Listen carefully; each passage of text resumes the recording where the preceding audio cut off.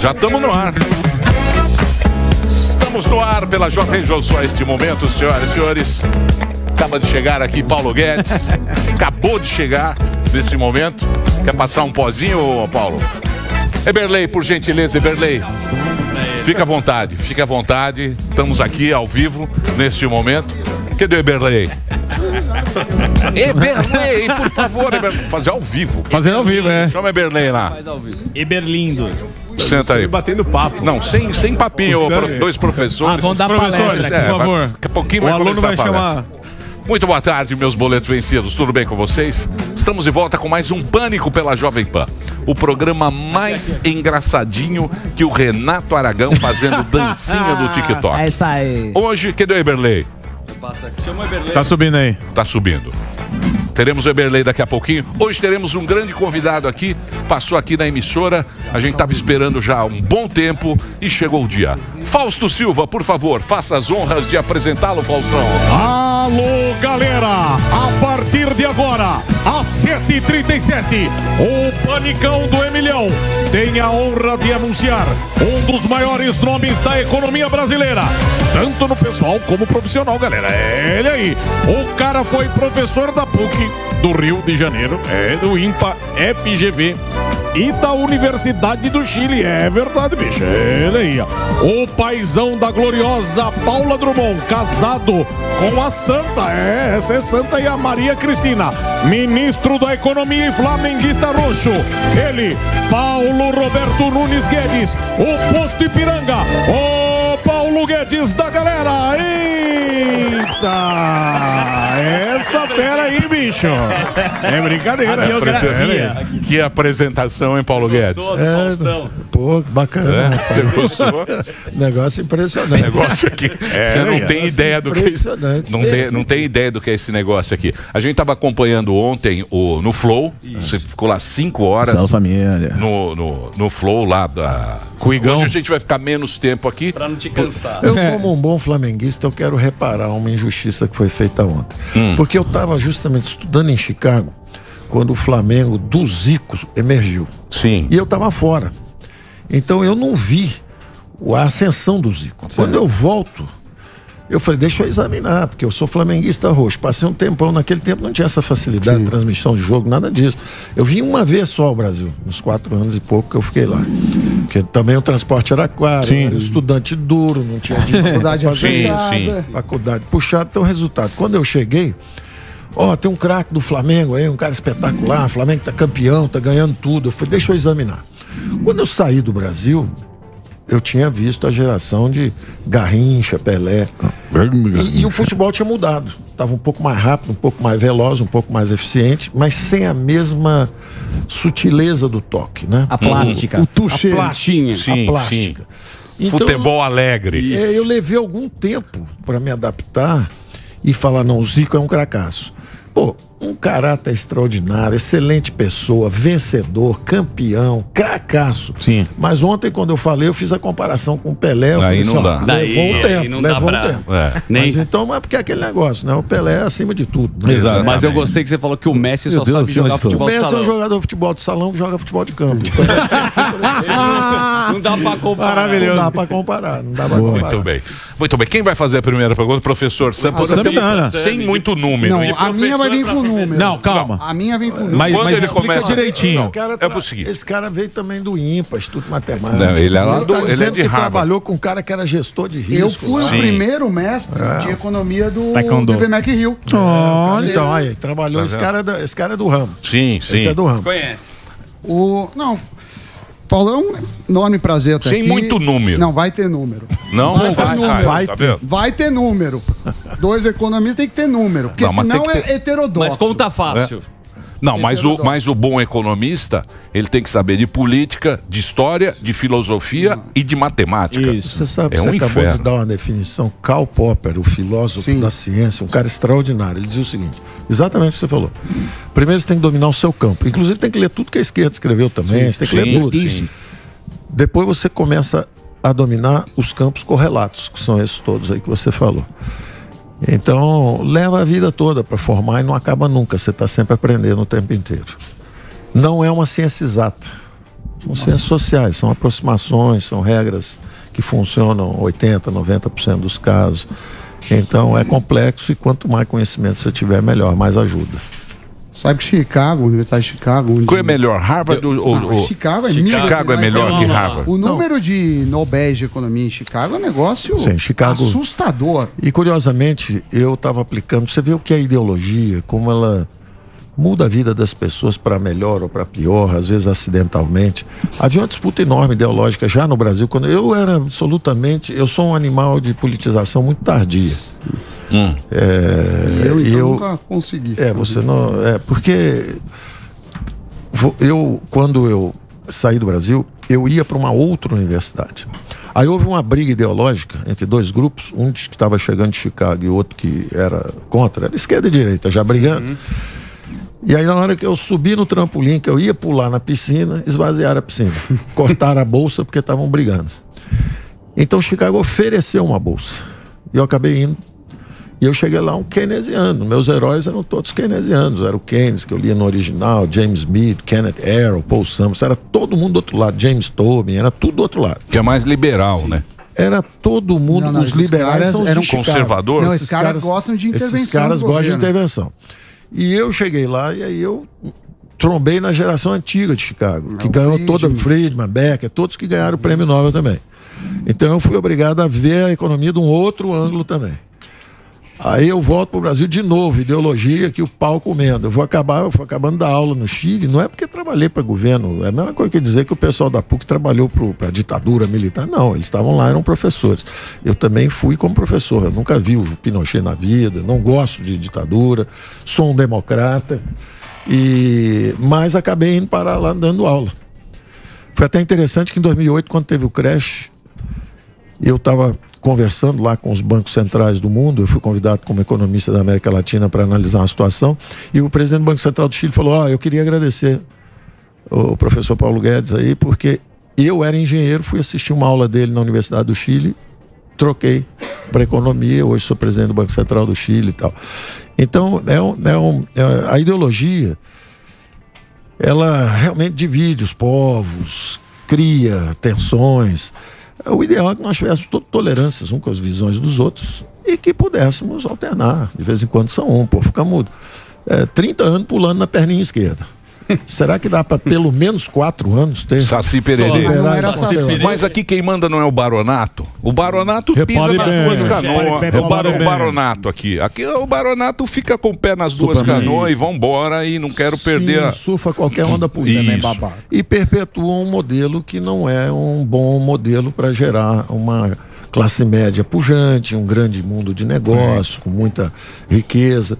O Brasil, a democracia americana, por exemplo, foi construída de baixo para cima. Eram 13 colônias independentes, cada uma tinha lá seus hospitais, suas igrejas, liberdade religiosa, seus exércitos, até suas constituições.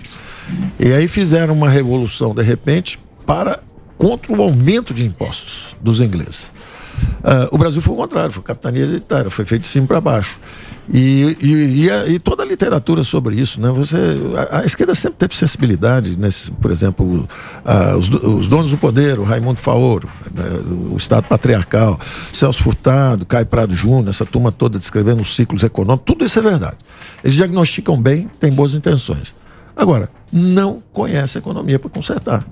Então acabam fazendo com as melhores intenções, promovendo desastres, um atrás do outro. Não tem a ortodoxia e nem os métodos empíricos que foram amplamente ampliados e hoje dificilmente alguém ganha um Nobel de Economia sem ter uma pesquisa aplicada, seja ela de esquerda Sim, ou de direita. sim, sim. Paulo, eu queria puxar o seguinte: durante 2019 Isso. até agora, o Brasil, esse ano está indo muito bem, mas a gente cresceu menos que a média do mundo. Essa é uma observação que eu tenho ouvido muito, que é o seguinte. O Brasil está crescendo menos que a média do mundo há 30 anos. Sim, sim, não é agora, não. Desde Aí as 1900 pessoas tentam tempo, né? espetar a conta, tentam espetar a conta na gente. Ah, não, há Está 30 em anos. último lugar no piso, está crescendo menos que o mundo. Há 30 não, a 40. Eu peguei os dados isso, desde 1980. Isso, isso. A mesma coisa a inflação. Mais alta do mundo isso. há 40 anos Isso, e isso, isso. também nos últimos quatro. Por que, que eu comecei falando dos últimos quatro? Porque senão tem a questão da pandemia que deu uma... Certo, certo, compara. O que, que a gente pode fazer para nos próximos, a gente tem uma, uma, um crescimento próximo de países emergentes, que é maior que o crescimento dos países ricos. O que, que dá para fazer? é, que eu sei que vontade e ideias não lhe faltam. Eu acho que nós já estamos nesse que chamamos de o caminho da prosperidade. Eu acho que nós já estamos. Se você pegar do fundo do poço para hoje, quando bateu a doença, nós perdemos um milhão de empregos em 60 dias. E começamos a fazer as medidas de proteção. Né? 68 milhões de brasileiros digitalizados recebendo auxílio emergencial, 11 milhões de carteiras protegidas na na CLT, né, no regime formal de trabalho, com o auxílio emergencial. Em vez de você demitir alguém, liga pra gente. Você paga metade do expediente, nós pagamos metade. E isso era bom, porque ninguém estava indo para o restaurante para almoçar ou para jantar, distanciamento social.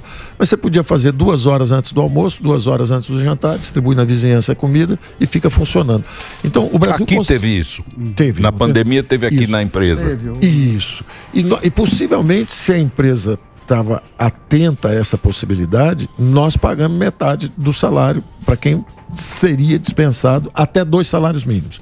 Quem ganha um salário mais alto, por exemplo, o Emílio ganha um salário espetacular. Ah, maravilhoso. Ganha, a exato. gente não Uma podia loucura. pagar. Acertou. Uma Aí a loucura. gente não podia pagar metade É. do salário. É uma dele. loucura o Senão salário quebrava o dele. governo. Quebra o país. Tá bom. Dá pra pagar um terço, né? Dá para pagar só um pedacinho. Mas 11 milhões de empregos foram preservados. E aí nós começamos a criar empregos, porque fizemos as reformas dos marcos regulatórios. Concessões, setor elétrico, gás natural, petróleo, aeroportos, ferrovias, portos, no- telecomunicações, 5G. Na hora que você cria todo esse ambiente, essa nova fronteira de investimentos, o dinheiro começa a entrar. E é dinheiro de brasileiros aqui mesmo, e começa a vir um pouco de fora. Então, quando você olha os sinais de vitalidade, por exemplo, dizem assim: ah, o Brasil, né, ninguém confia no Brasil lá fora. Mentira, fake news. Aliás, a melhor a coisa, eu, vocês são sensacionais, vocês apresentam de forma leve, divertida, a verdade.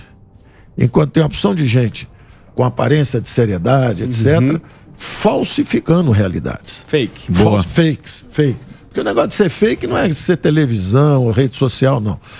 Fake é conteúdo. Rede social, ou, ou vídeo, ou rádio, é meio. Mas o fabricante de fake ele pode usar todos os meios possíveis. É, e hoje nós somos vítimas de narrativas políticas totalmente falsificadas. Por isso que você vê assim, não, o PIB do Brasil vai cair 10%, aí cai 3,9%. Ah, o, o Brasil vai ficar em depressão, eh, V é de virtual, quando eu falava que ia voltar em V, aí volta em V, aí cresce 4,5%. Ah, mas no ano que vem não vai crescer. Aí previram esse ano uma recessão de 1,5%, e eu disse, vão passar o ano inteiro revendo o crescimento para cima, e vão passar o ano inteiro jogando a inflação É, para a baixo. reunião lá, os caras só erram essa Ele fala reunião. que- o Emílio fala Não que bebe muito. É, muita, lá muita, deve ter muito uísque nessa reunião. É Tem uma reunião. Tá O, Sam, Sami vem é aqui. O. Sami vem aqui e fala: olha, a economia agora teve uma revisão. Falei, pô, que, que equipe é essa? Sempre tem uma que revisão. sempre erra na previsão. Ah, Você viu a última agora, Sam? Vi. 5,88. Começo do ano, quanto é que era? Era recessão ou até o 02, 03? Isso, zero. Eh, Primeiro, no ano passado se falava em 1,5 de queda esse ano, depois passou para recessão Sim. 0,2, depois passou para 1 de crescimento, agora já está em 2,7. 2,7, 67. Olha só, eu Paulo- quero, quero fazer uma pergunta aqui pro nosso querido. Poço Piranga aí, tá ok? ô, ô, Paulo Guedes, você falou em fake news aí, tá certo? A gente é bombardeado todos os dias, inclusive a minha pessoa, tá certo? A sua pessoa muito atacada. Muito atacado, você sabe muito bem. Agora, quase um ano atrás, falaram que o senhor ia sair do meu governo. Falaram, vai sair, não vai sair. Eu queria saber da sua pessoa e explica pro pessoal. Você já teve vontade mesmo de sair? E se não, o que te motiva a permanecer no nosso governo? Quando o senhor, presidente, foi lá me visitar lá na Granja do Torto e me disse o seguinte, ó PG, tem oito ministros pedindo a sua cabeça. Putz, aquilo ali para mim só- foi, aquilo foi, foi um, foi, eu tive um impacto inicial, né? Aí eu falei, presidente, o senhor que sabe, eu- quem tem voto é o senhor, eu estou aqui para ajudar. Agora, é, nós defendemos aqui o caminho da prosperidade. Se quiser, tem gente desviando o senhor para outro caminho, vai ser ruim. É. O nosso perigo é acontecer o que aconteceu com o Macri lá embaixo. Que ele elegeu todo mundo que usou como veículo e ele mesmo, na hora final, perdeu porque Tabelou tocaram preço, fogo no, foi- no- no governo dele. É o senhor que manda. Aí o senhor foi, voltou Umas mesmo. duas, três semanas depois, o senhor foi conversar comigo. E é interessante porque eu, quando teve a pandemia, os hotéis fecharam. Eu fui o último a perceber que, que, que o hotel tinha acabado o movimento lá. Acabei, fui para casa tentar fazer um home office, é impossível. Aí o presidente falou: não, vem rápido para cá, fica lá na minha casa de campo, que era Grande Tota, acabei indo para lá. Eu tinha botado a casa do ministro à venda, porque eu queria dar exemplo, acabei você ver como é que é o poder, né? Acaba te seduzindo, cara, arrumando um, um confortozinho para mim. Eu até falei, presidente, deixa eu sair da casa. Não, porque senão vão achar que você está saindo do governo. Depois da eleição você sai, você libera o território aí, mas antes não. Senão vão vão estão falsificando tudo aí, vão dizer que nós estamos brigando e tal. Tá certo. mas e aí o senhor voltou lá para me avisar. Eu falei, o senhor quer que eu vá no palácio? Não, eu vou aí Eu sei. conversar de novo. Aí o senhor me falou, PG, agora não são oito mais não, agora são doze. Pedindo seu pescoço. Então, você vê o que é política. Dentro do governo, fogo amigo, pau comendo. Todo mundo tentando fazer seu trabalho melhor. Não tinha ninguém contra mim, não. É que um queria gastar mais Gastam, numa direção, o outro queria gastar mais na outra direção. Eu lembro outro-. Todo mundo com boa intenção. Todo mundo com boa intenção. Sempre no Arca de Noé tem um pica-pau, né? Você tá É. tentando salvar a Sim. girafa, elefante e tal, mas tem um pica-pau fazendo alguém um buraquinho pra baixo. No- A economia trabalha com a escassez, né? E a política nunca ele usa essa, essa. Então é tudo compreensível. São grandes ministros. Pessoas que querem fazer e fizeram trabalhos extraordinários. Mas no final, no final, se você perder a mão do compromisso fiscal, você destrói um país. E qual foi a sua motivação para permanecer em cima desse tanto fogo, fogo amigo aí? Ô, presidente, foi a confiança e o respeito. Tá vendo? O outro tempo Sim. inteiro. o senhor mantém a meta de levar o Brasil no caminho da prosperidade. É uma aliança de liberais e conservadores. Os conservadores e os liberais. É uma aliança contra o caminho da miséria. Você vê a América Latina inteira desmanchando. Está todo mundo desmanchando. Venezuela, Argentina, Argentina. todo mundo desmanchando. Você vê uma turbulência no mundo, no momento atual. Esse ano, à medida que nós fomos revendo o crescimento do Brasil para cima, já estamos em 2,70, 2,80, pode ser que pela primeira vez em 42 anos o Brasil cresça mais do que a China. Tá vendo aí, ó? né? Quando eu tinha a idade de vocês, era jovenzinho, eh, não, foi há mais tempo ainda um pouco, mas o Brasil já foi a economia de maior crescimento no mundo por duas ou três décadas. Nós crescemos 7,3%, 7,4%, à frente do Japão, à frente da China, Coreia, Estados Unidos, todo mundo. Eh, o Brasil trouxe japoneses, virou a maior colônia de japoneses fora do Japão, a segunda maior colônia de italianos fora da Itália, a terceira maior colônia de alemães fora da Alemanha, mais libaneses no Brasil que no Líbano. O Brasil trazia gente do mundo inteiro. O que aconteceu nas últimas décadas? O brasileiro indo entregar pizza em Boston, lavar prato em Barcelona, sendo chofer de táxi em- no Sim, Canadá. Se vira. Ma- Mas, o, mas o Paulo, por que que, por que que o Brasil perdeu tanto bonde assim?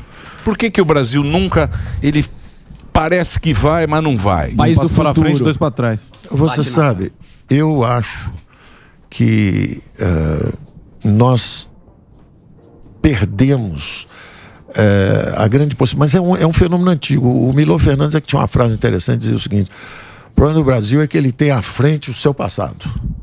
Aliás, se aplica muito a essa eleição, né? Sim. Ele tem à frente o seu passado. Aí diz o seguinte: toda vez que tem a chance que você vai começar a sair do buraco, aparece um fantasma do passado, senta na sua frente e sequestra de novo Não fala assim. o, o- o veículo. Né?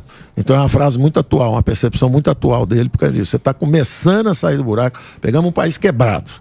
Estatais quebradas, 20 bilhões de prejuízo todo ano, aí levamos para 180 bilhões de lucro, ou seja, 220 bilhões que eram queimados todo ano. E aí consertamos as estatais, consertamos os fundos de pensão, abrimos uma frente de investimento de 800 e agora a última atualização semana passada são 908 bilhões de compromissos de investimento, com bônus de assinatura de 179 bilhões, ou seja, nos pagaram 180 bilhões pelo compromisso de investir mais 900 bilhões nos próximos 10 anos. Um exemplo típico é SEDAI, saneamento. 100 milhões de brasileiros estavam sem, básico. sem esgoto, Saneamento, saneamento, esgoto. básico, e 35 milhões de brasileiros sem água corrente.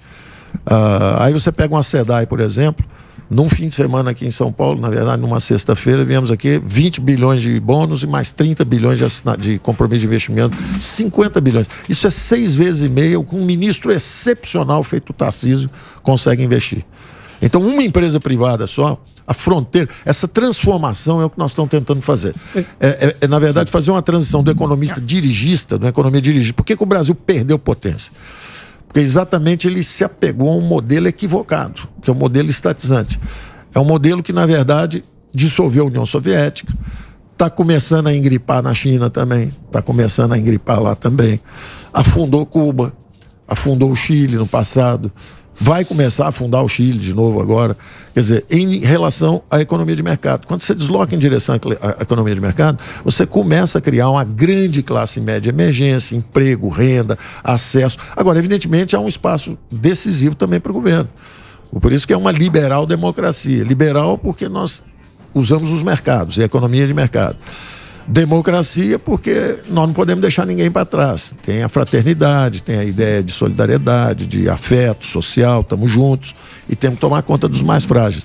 Essas ideias animaram o nosso programa. Nosso programa é um caminho da prosperidade é exatamente assim. Então, quando atingidos por. co- Nós temos um plano. Ah, Nós já tínhamos a renda básica. Quando chegou o Covid, nós disparamos o auxílio emergencial, que é uma transferência de renda para os mais frágeis. É, a mesma coisa, nós já tínhamos o plano de reduzir os impostos. Agora reduzimos IPI, ICMS, reduzimos tudo. 4 mil produtos geladeira, fogão, máquina de lavar, até os produtos industriais mesmo, alimentícios.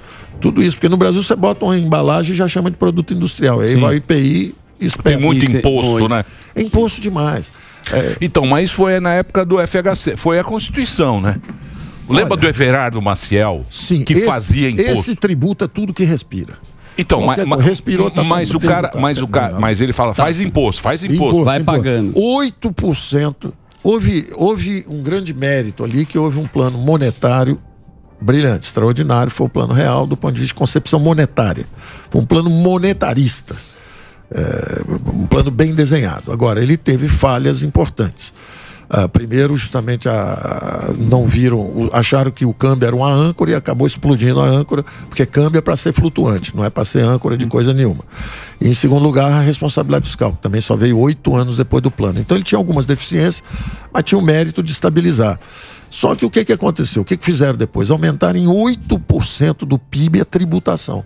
Então, não, não é surpresa que, ao mesmo tempo que nós fizemos estabilização, nós começamos o endividamento em bola de neve, porque o fiscal estava solto, os gastos aumentando, nós só trocamos o financiamento. Em vez de ser financiamento inflacionário, foi endividamento em bola de neve.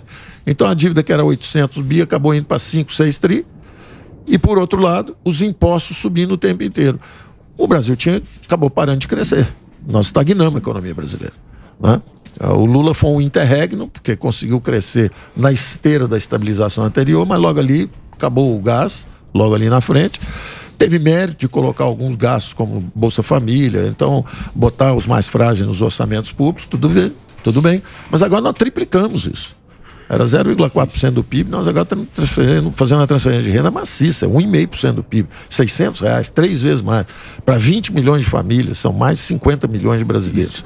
Então, o crescimento está contratado, o crescimento do Brasil. Voltando à pergunta ah, do nosso Sam, o que está acontecendo com o crescimento, o que, que vem aí para frente? O Brasil era prisioneiro do crescimento zero. Nós estamos há 10 anos crescendo zero. E, e- e eu fui a geração que assistiu a isso. Eu lembro que o Roberto Campos, o avô do jovem espetacular que está conosco no polpa, Banco né? Central, exatamente. Ele dizia o seguinte: Paulo, minha geração falhou, mas a sua vai funcionar. Tem chance. Eu agora falo com o neto dele: olha, minha geração ainda não consertou. Quem sabe a sua vai consertar. Ô, Mas Paulo, as pessoas falando- não olham. Falando da questão da redução dos impostos, tudo que você já falou que o governo fez, como é que foi a tua reação de ver a turma jogando contra? O despiora, o Sim. infelizmente vamos falar de notícia boa. E como é que você sabia que você teria essa essa Sinceramente, não. você sabia que você teria essa turma contra você Sinceramente, dessa não. forma? E como é que foi pra passar pra sua equipe explicar o porquê de tanta Sinceramente, gente, não. gente torcendo contra? Eu vim, eu fui colunista da Folha, fui colunista do Globo, fui colunista da revista Exame. Quando o Mário Henrique Simões faleceu, o Guzo fez uma eleição lá dentro, com vários economistas jovens, e eu fui escolhido, porque à época eu tinha sido crítico de vários programas econômicos que tinham dado errado, etc. Tinha fundado um banco, tinha dado certo. eh, tinha dado aula em várias universidades, acabei sendo escolhido para substituir o Mário Henrique Simons na revista Exame. Então eu tinha um excelente relacionamento e tenho ainda, pessoal, com a opção de rede mídia. Mas até por amizade combinamos o seguinte: vamos fazer o seguinte. Acabar a confusão, a gente conversa de novo, porque vocês. E aí é de parte a parte. Eles dizem que do nosso lado nós estamos errando na comunicação, não temos capacidade de comunicação.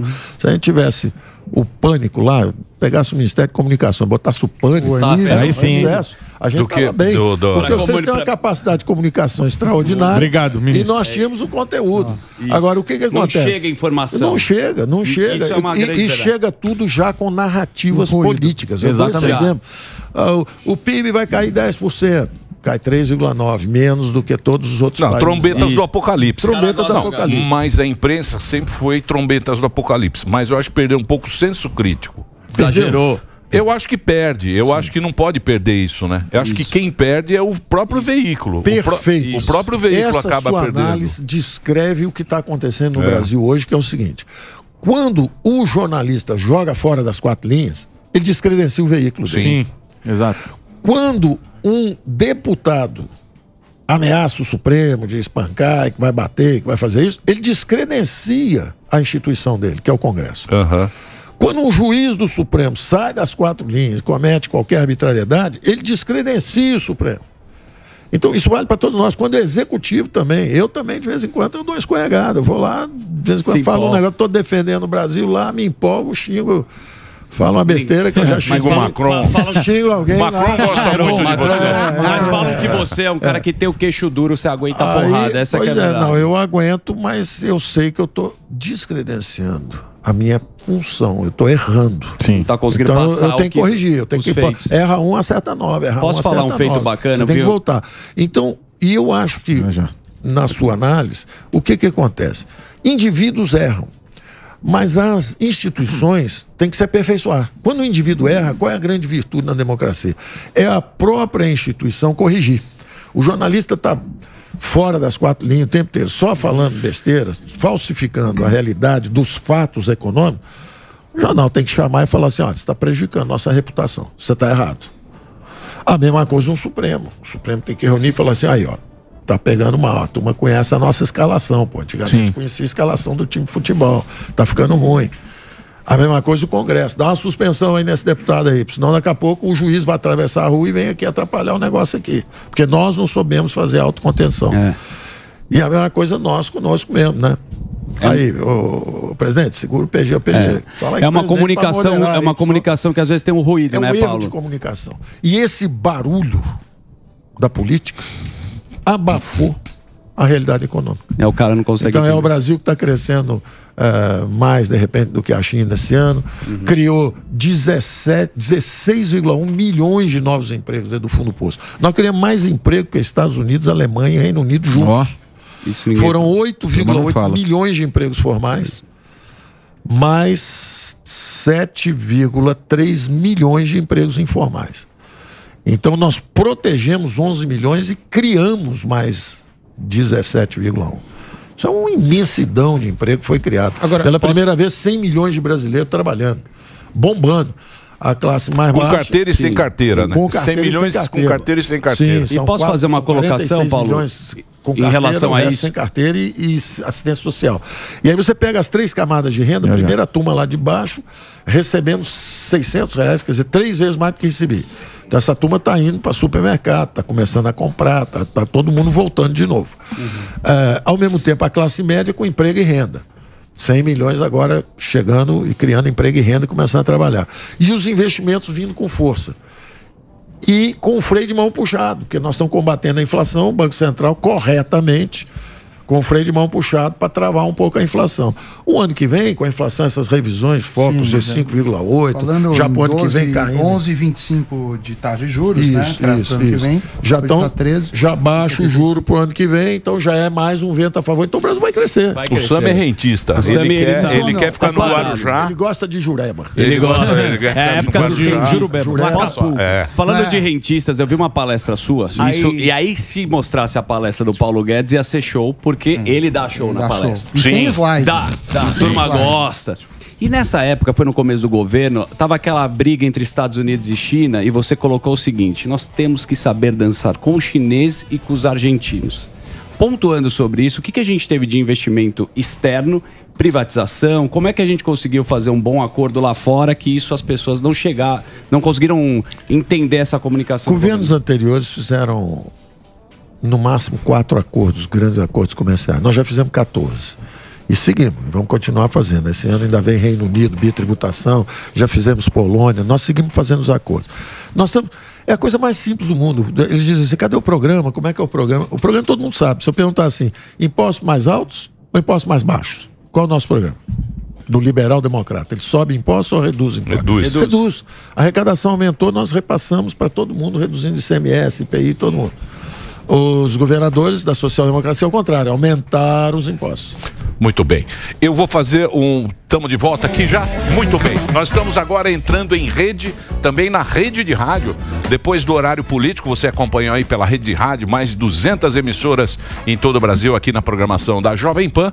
E agora a gente já está no rádio também. Hoje a gente está falando com o mestre da economia. Paulo Sim. Guedes. Paulo Guedes Pô, está aqui no programa de hoje.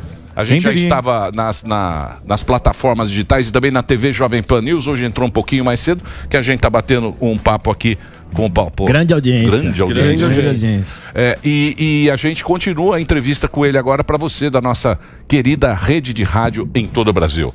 Show o professor, você tem perguntas para ele, professor? perguntas. É, Você cheio está tá veio de é tudo social professor ele aqui. até abriu viu, o que, você viu que ele veio hoje, ó. Vem de camisa. Veio de Veio de camisa camisa, agora. veio todo fino, Você todo chique. ter- É. Você vai ter oportunidade agora Três palestras hoje. fazer. É que eu acho o, o Paulo Guedes ele é muito didático. Ele consegue falar de economia sem muitas elocubrações Mas se técnicas. fosse o professor, não eu, passava, eu não, admiro viu? muito É é, o. Paulo Guedes, o ministro, exatamente por isso. E nessa, nesse Mister Emílio, eu gostaria de fazer uma pergunta. Pois não. Posso? Professor também. Pois não. Mas de direito. Não, é. Mas de direito diminuiu. Ah, É, é, professor, gosta, mas é de direito. Faculdade Tabajara. Não sei se você conhece.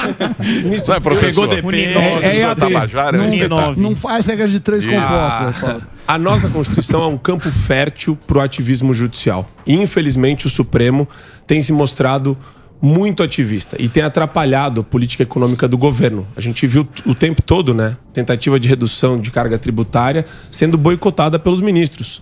A qualquer pretexto. Eles usam qualquer fundamento porque a Constituição assim permite. É, que- até que ponto ah, o Ministério teve aí problemas e desafios para superar por conta do ativismo judicial? Olha, você vê que interessante, não é? Eu, primeiro eu tenho que fazer o seguinte: eu não estou aqui, é hora de almoço. É horário de almoço. Horário livre, eu posso até tirar a gravata. Aí. Pode fazer o que Tá você como quiser. Paulinho. Assim, Ó. Como o Paulo Guedes. Paulinho, Paulinho, Paulinho. Paulinho. Não é o ministro. É. Tirou Não até é a gravata. ministro, Não é o ministro. Tirou a Tomar um gravata. Justamente, Pessoa qualquer coisa física. que eu falar é a pessoa física, é o brasileiro, Show. é o brasileiro cidadão que falou. Tendo dito isso, minhas palavras, evidentemente, vão refletir um trabalho que teve a ajuda de muita gente em Brasília. Tem sempre o pica-pau de um lado, Sim. mas tem sempre o cara que vem, pega o baldinho também, ajuda a tirar a água da arca enquanto a arca vai avançando. E isso vale para tudo. Na mídia, tem gente que está sempre batendo contra, mas tem gente que está tentando buscar a verdade. No, no Congresso a mesma coisa, tem a turma que está sempre batendo e tem a turma, às vezes até na oposição e às vezes na situação, que estão construindo um Brasil melhor. Vale a mesma coisa no Supremo, nós tivemos várias dificuldades, o Supremo nos ajudou.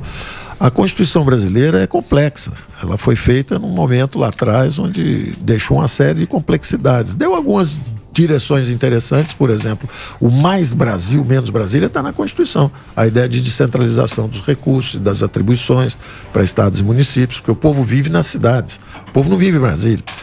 O ministro carregando dinheiro na mão lá é um perigo, o cara pode cismar de fazer uma opção de coisa. Agora, quando você desce o dinheiro, como a gente desceu durante a crise, é, e isso, inclusive, foi muito mal interpretado. Isso que eu falo faltou muita comunicação. Ah, furar o teto. Claro, o teto é para o governo federal não crescer. No primeiro ano, nós chegamos lá, a exploração de petróleo estava parada há oito anos. Nós retomamos ah, justamente a- as concessões, a, a venda do- do- dos campos. E dos 90 bilhões que nós arrecadamos, nós queremos repassar para os estados 20 bilhões. Furar o teto, claro, o teto foi mal construído.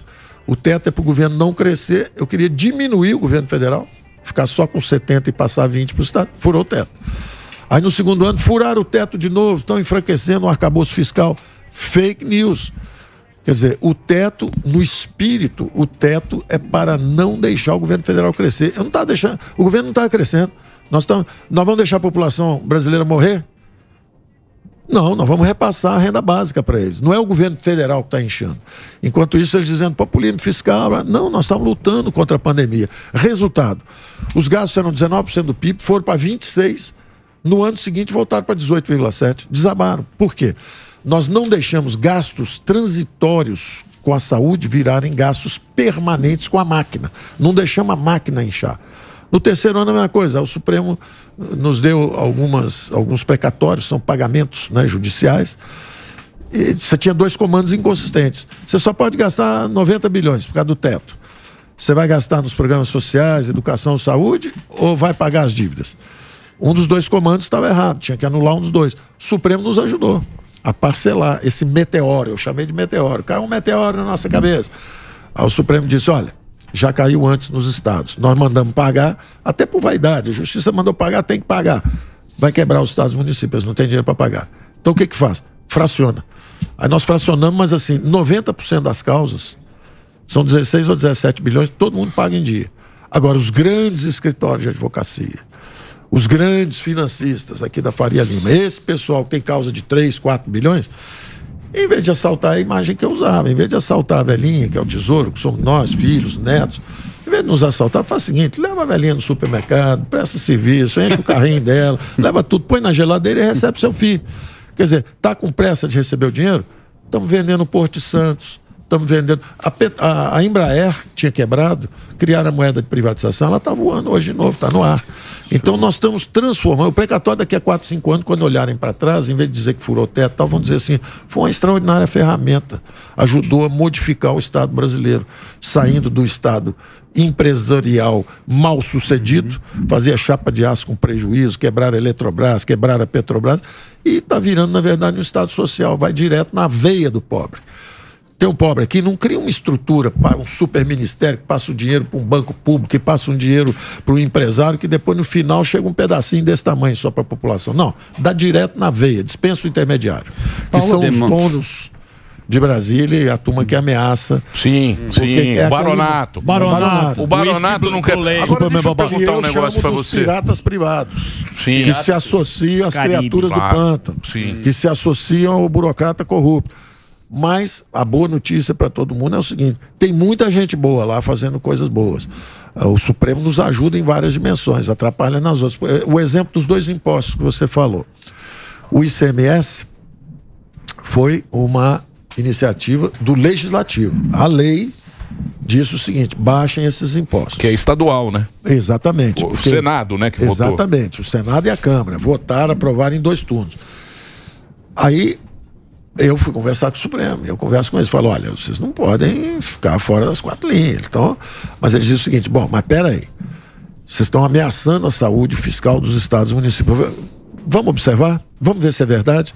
Porque nós, na verdade, o que está acontecendo? A economia está vindo forte, a arrecadação está subindo, então, mesmo baixando as alíquotas, a arrecadação está subindo. E mais, como o imposto de renda está subindo, e metade do nosso imposto de renda vai para estados e municípios, ele perde no ICMS, mas ganhou no IR. Então o Supremo falou: então vamos fazer o seguinte, bota um checkpoint lá na frente, vamos esperar até lá no final do ano. No final do ano a gente faz a conta. Se tiver perdendo, a gente repara, se não E tiver. tá tudo no segue. azul, né?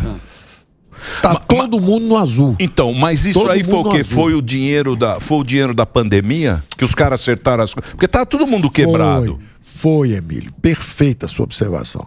Tava todo mundo quebrado. Todo mundo devendo professor, todo mundo devendo décimo terceiro, Décimo terceiro. todo mundo devendo os fornecedores, estava todo mundo quebrado. Quando chega a pandemia, nós conseguimos fazer em tempos de guerra o que a classe política não conseguiu ainda ter a coragem de fazer em tempos de paz, que é assumir os orçamentos. Falar, ó, tá bom, tá aqui o dinheiro para a saúde, mas não tem reajuste durante dois anos. Acabou, entrou todo mundo no azul. 5 mil municípios no azul, porque, na verdade, o funcionalismo nos ajudou extraordinariamente. Porque o que, que aconteceu? Os salários tinham subido 50% acima da inflação. Eles tinham contratado 160 mil pessoas. Os gastos estavam explodindo. Aí, de repente, no meio de uma guerra, você imagina os alemães bombardeando Londres, Você imagina se o funcionalismo falasse assim: nós queremos greve, vamos parar o metrô, queremos aumento, senão. Não... Peraí, primeiro você acaba a guerra, depois você conversa né, de salário.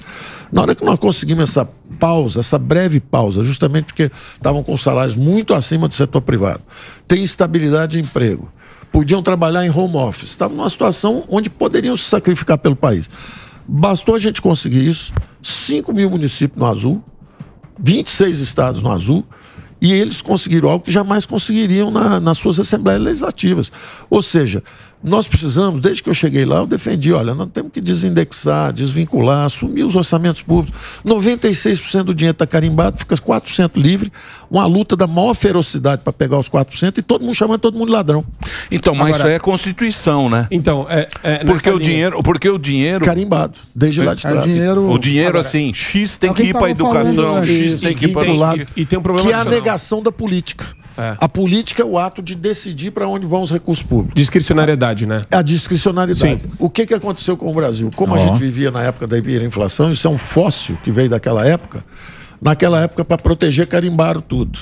Aí chega hoje, eu conversando com um prefeito, presidente do interior de São Paulo, ele me dizendo o seguinte: olha que barbaridade. Nós éramos uma família de cinco, seis filhos. Eu, por exemplo, tenho cinco irmãos, ele me contando, né? Sou prefeito, tem- tinha cinco, tenho cinco irmãos. E na época eram 56, 60 milhões de jovens no ensino básico. Depois veio caindo, caindo, hoje são 36 milhões, daqui a 10, 15 anos vão ser 20 milhões. Então, aquele carimbo do dinheiro está me obrigando a pintar o- o- a escola seis vezes por ano, porque pela lei de responsabilidade eu tenho que gastar esse dinheiro.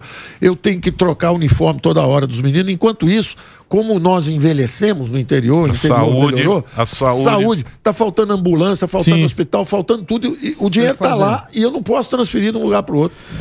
Eu Paulo- tenho que desperdiçar de um lado e não consigo suprir do outro lado. Paulo- porque é a Administrar. negação da política. Exato. A negação da a política é a arte de dizer o seguinte: olha, vai para cá e não vai para lá. Acabou a guerra do, do, do Afeganistão, agora vai ter aumento de salário. Agora começou a guerra, trava o salário. Agora vamos gastar com saúde, tira daqui e passa para lá. A política foi negada. Tá o dinheiro todo carimbado. Então o cara, já que ele não faz política no sentido correto, o que, que ele vai fazer? Brigar, xingar um ou outro, tentar pegar o dinheiro. Perfeito. Paulo, eu tenho um. Acho que a maior dor do empresário, e isso. O governo andou em várias coisas. Saneamento básico, você comentou do Tarcísio. Mas a gente não conseguiu fazer uma reforma tributária. Os dados do, do Banco Mundial, por exemplo, você conhece melhor do que eu, o Brasil gasta em média 1.500 e uma horas só para pagar imposto. A gente é o pior país Sim. entre 167. Absurdo. Ainda o índice de complexidade eh, tributária, a gente era o pior em 69 países e agora tem nove na frente. Mas não dá, não é uma posição que a gente pode entender. Ontem, eu não sei se você viu, tava lá o Lula, tava com a Bíblia Diniz, tava com o André Esteves, tava com o Justus, o Klein, um monte de empresário, e ele falando de reforma tributária. E tem muito empresário querendo e apoiando o PT. Você comentou uma coisa, saiu, acho que hoje ou ontem, que direita também gosta de privilégios. Sim. E esse que é a questão. E aí, Sim. como que a gente faz? Porque eu sei que a sua vontade é fazer a reforma tributária, Sim. mas você sabe que o cara tem os dois tipos, né? O comunista com o dinheiro dos outros, que assim, com o meu não, mas com os outros eu sou comunista, e o liberal que também é liberal para os outros mercados. Mas Sim. por dele ele quer um, um privilégio. E aí, como que a gente vai Perfeito, resolver Sandro, esse perfeito. negócio? Esse conflito existe pelo seguinte: nós temos dois grandes. A civilização ocidental conseguiu duas grandes ferramentas ao longo assim de séculos. Não é coisa de, de três meses, seis meses, séculos. Um é justamente esse mecanismo de decisão política descentralizada. Não tem o rei que manda em tudo, não tem, tem, não tem. Seus poderes são limitados. Seus poderes vêm até onde começam os meus direitos. Você não pode invadir os meus direitos. Então, a democracia é esse sistema de descentralização da decisão política e limitação de poder político. Aí tem o mercado, que é a correspondente, é a mesma coisa. O mercado não foi uma invenção do, do, do- do inglês no século, dois séculos atrás, não. Os fenícios, os babilônios, Vem de longe. os astecas, A lojinha, a lojinha, Os hebreus. a lojinha tá muito. É, Vem de Moisés. Todo mundo Foi já orgânico, Todo né? mundo, orgânico, orgânico. Isso é igual a linguagem. A linguagem, quem é que inventou a linguagem? Língua um viva. cara um dia caiu um raio, o cara. Aí todo mundo chamou aquilo ali de raio, que significa raio. Então a mesma coisa as trocas começaram a ser feitas. E à medida que esse algoritmo de decisão política descentralizada foi se expandindo, o progresso foi chegando. Foi chegando. E você tem que caminhar com essas duas pernas. Vamos deixar criar riqueza e vamos, ao mesmo tempo, dando oportunidades e redistribuindo aqui onde é possível igualdade de oportunidades, meritocracia. Vamos embora, vamos jogar todo mundo junto. Então isso foi desenvolvido, isso é secular. Esse é o caminho da prosperidade. Esse é o caminho das grandes sociedades abertas, que o Karl Popper elogia e que é o nosso símbolo de ideal lá para frente. Aperfeiçoamento institucional nunca vai estar perfeito, mas nós está sempre tentando melhorar um pouco. Ora, quando você chega, você está num caminho desse, é muito claro, tem que ter uma linha dividindo o poder econômico do poder político. O sujeito que tem poder econômico não pode ir a Brasília para tentar ter poder político e vice-versa. Isso é promiscuidade. O cara tem poder econômico, vai lá, consegue uma lei para si, se protege, e era o exemplo que eu usava na campanha quando dizia. Eram, nós somos 200 milhões de trouxa, na mão de seis empreiteiros. Sempre, sempre de é pouquinho, né? Sempre Sim. aquele O cartel, né? A gente já sabe quem manda. A gente já sabe quem manda. Só reserva. Isso- é, é isso aí. Então, o que, que acontece? Nós, nós temos que sair disso. Nós temos que justamente ir aperfeiçoando as instituições políticas de um lado, passando o muro. Olha lá, a Folha de São Paulo já publicou aqui, ó. Isso é o que eu- Sim, verdade, verdade, verdade. Agora, de novo. Estão assistindo a assim. gente lá, ó. Sempre Beijo, assim. nossos companheiros. Sempre assim. Tem sempre Foi de São 10% de pica-pau. 90% de gente na direita trabalhando, criando assistindo suas lá. famílias, fazendo tudo certinho. E 10% de esperto indo lá. Esses espertos, por exemplo, bloquearam a reforma tributária nossa. Sim. Curiosamente, nós estávamos com dificuldade de aprovar a reforma eh, lá no Congresso. O presidente da Câmara botou uma vez para votar, teve que suspender, votou a segunda, teve que votar. Curiosamente, eu conversei com um deputado de esquerda, só não posso falar agora para não fazer propaganda eleitoral. Sim. Mas o. Eu virei e falei: você vai deixar passar uma oportunidade dessa?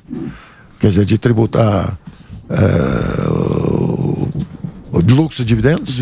Há 30 anos que o trabalhador brasileiro paga, às vezes, 27,5%. E nem sabe. E o sujeito recebe lá 350 bilhões de juros e dividendos, paga zero. Aí você fala assim, vou tributar. Ele, não, minha empresa já foi tributada. Eu não quero tributar a sua empresa.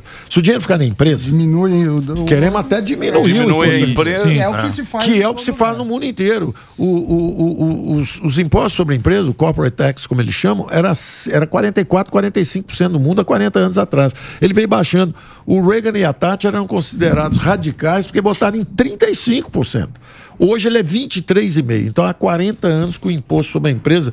O pânico está crescendo, quer investir, criar emprego, novo equipamento, contratar mais Melhorar. gente. Melhorar, imposto baixo. Agora, a empresa está madura, já tiraram o leite todo, quer agora pegar o dinheiro, comprar um avião, uma ilha, etc. Faz favor, passa ali no caixa, paga o imposto tudo. de renda. Iate em nome da firma. É isso aí. Aviãozinho em nome da firma. Isso, Aí isso, coloca isso, por isso. trás. Lógico. Esse assunto Ô, me Paulão, interessa agora uma Malaquias, Então a Malaquias. nossa reforma tava, foi aprovada com apoio também da esquerda, direita, esquerda. Aí ajudou todo mundo, aprovamos na Câmara. Aí de repente foi pro Senado. Opção de jatinho, baixaram em Brasília, travou tudo. Ô, Paulão, É. agora a questão da carteira verde e amarela, a galera tava perguntando bastante, porque era uma proposta muito bacana Sim. que é, o, o presidente falou que ia Sim. retomar isso daí. Como que anda a carteira verde e amarela aí? Ela foi, no primeiro ano nós chegamos, a nossa reforma da Previdência, ela era uma reforma muito mais potente do que o que acabou saindo, porque ela tinha basicamente dois, duas camadas. A primeira camada era a remoção de privilégios. Sim. De todo mundo. Né? Privilégio de todo mundo. Pô, o Exato. cara já ganha mais, 30, 40 vezes mais do que o salário mínimo a vida toda, teve tempo, estabilidade de emprego, teve oportunidade de juntar o dinheiro. No final da vida, o cara, o governo ainda vai continuar fabricando desigualdade. Então, vamos fazer o seguinte: 3, 4, 5 salários mínimos já tá bom.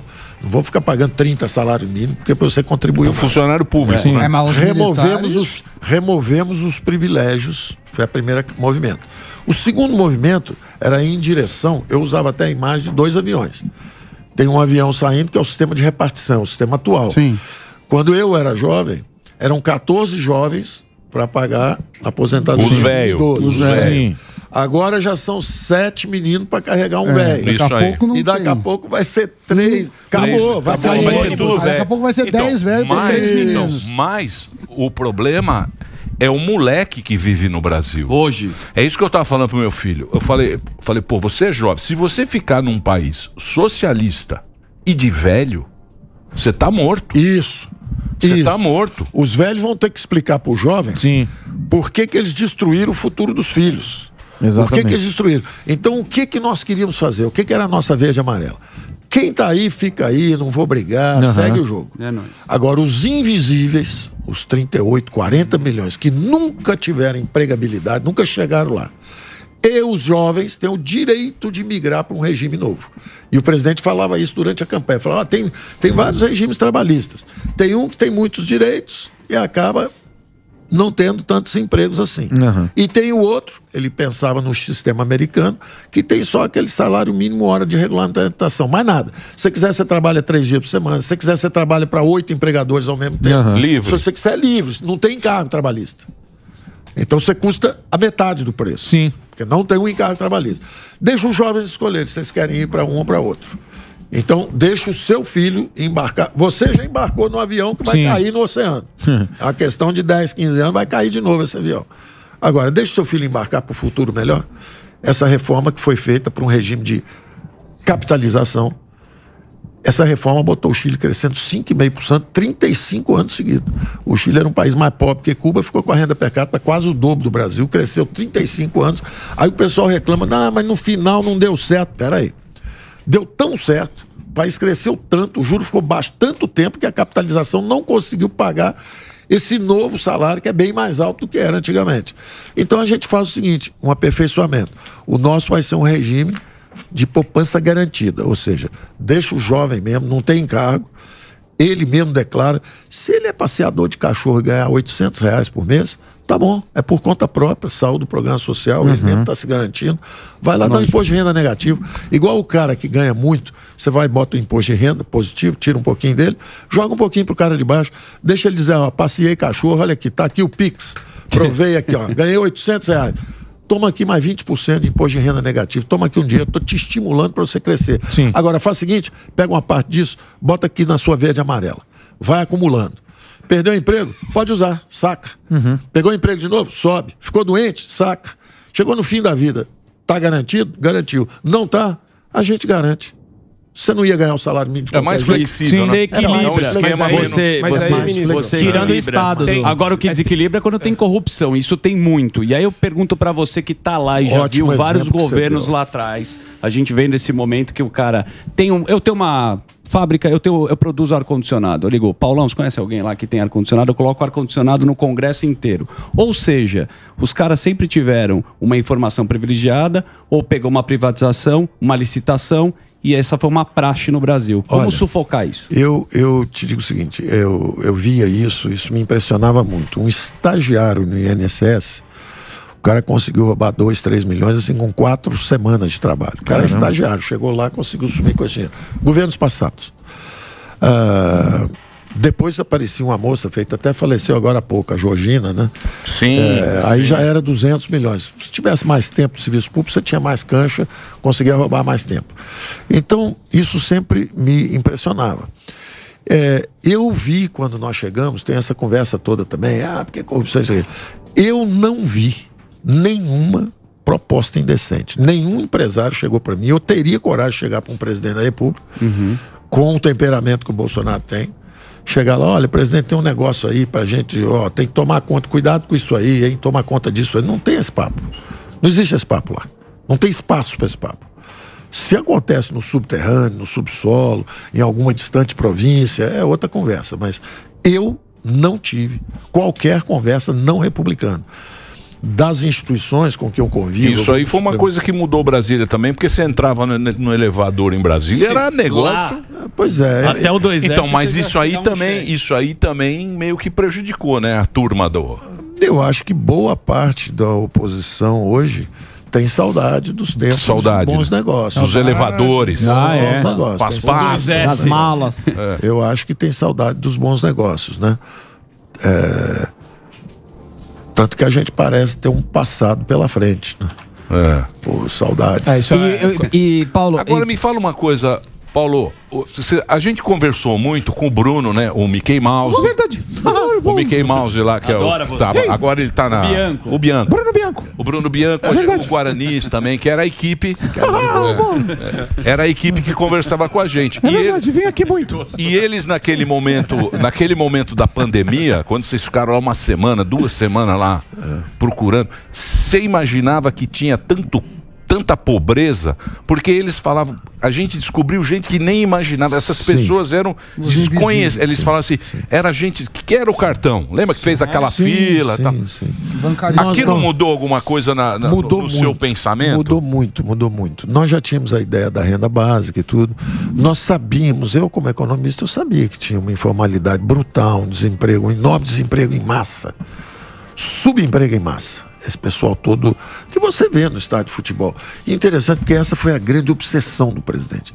Quando a pandemia chegou, e até virou uma onda de que ele não ligava para a pandemia. Não foi isso que aconteceu. O que aconteceu foi o seguinte: e foi interessante porque eu vi duas, uma charge que eu vi, até nos Estados Unidos, de vir numa onda mais ou menos, vamos supor, alta, que era a onda da pandemia, e uma onda maior ainda atrás, que era uma segunda onda, que era a onda da economia. E isso nos impressionou a todos. Quer dizer, a gente sabia o seguinte: vai ter essa onda da pandemia em si. Agora, a economia também vai travar e pode ter fome em massa. Então a gente tem que manter os sinais vitais funcionando. Por exemplo, campo, tem que ter comida, transporte, tem que trazer comida para a cidade, supermercados funcionando e renda para os mais frágeis. E era a obsessão do presidente. Como é que vai ficar o cara?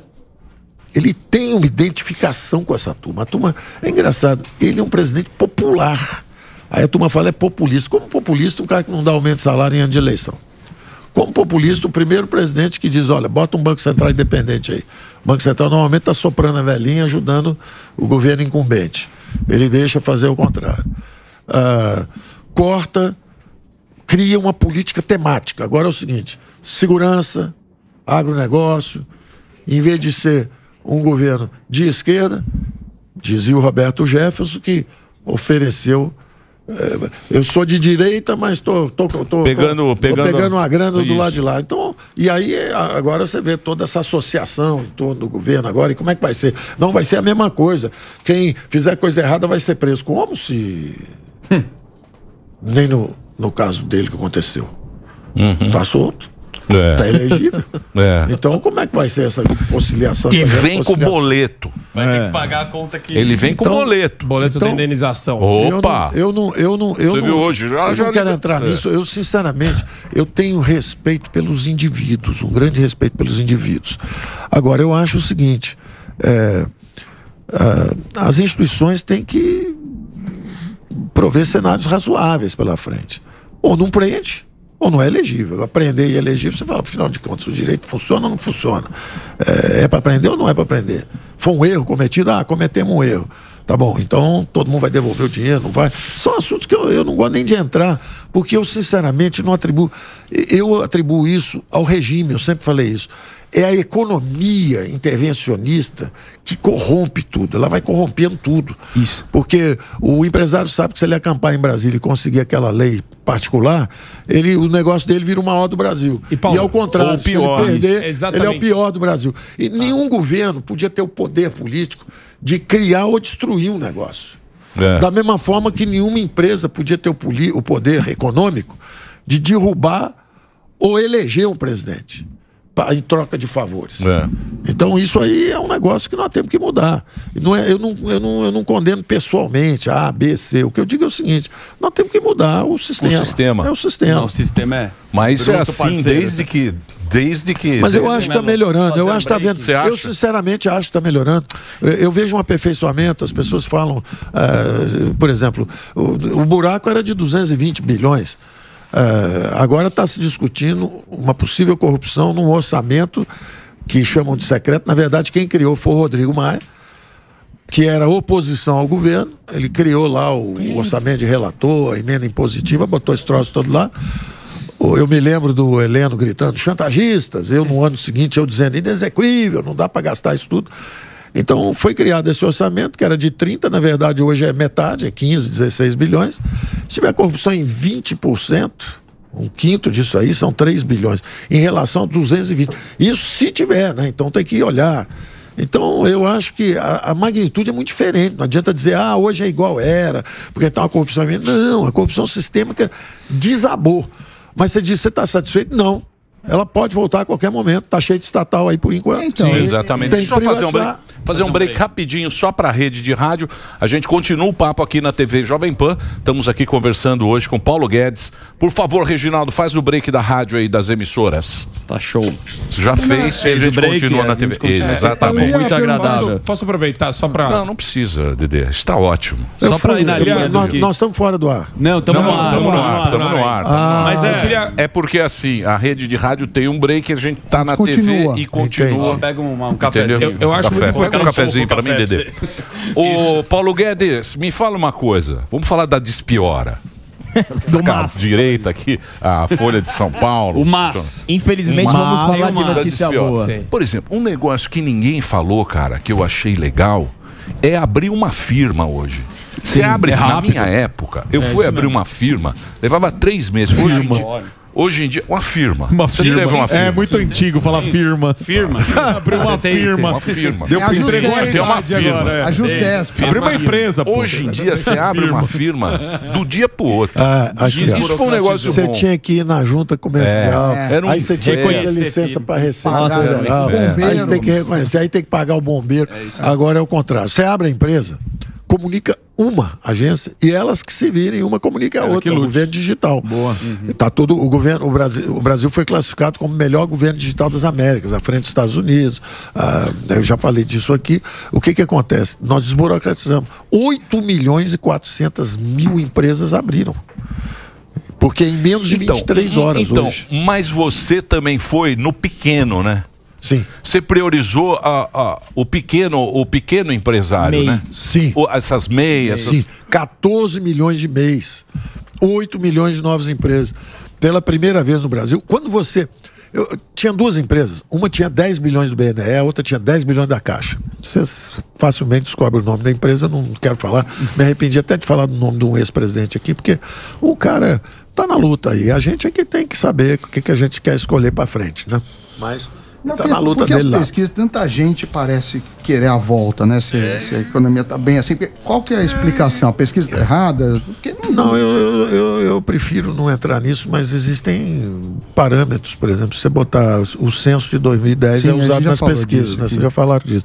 Muda um parâmetro desse, dá vitória no primeiro turno pro outro lado. Então pode acontecer, pode estar acontecendo muita coisa. Mas eu prefiro é, o seguinte raciocínio.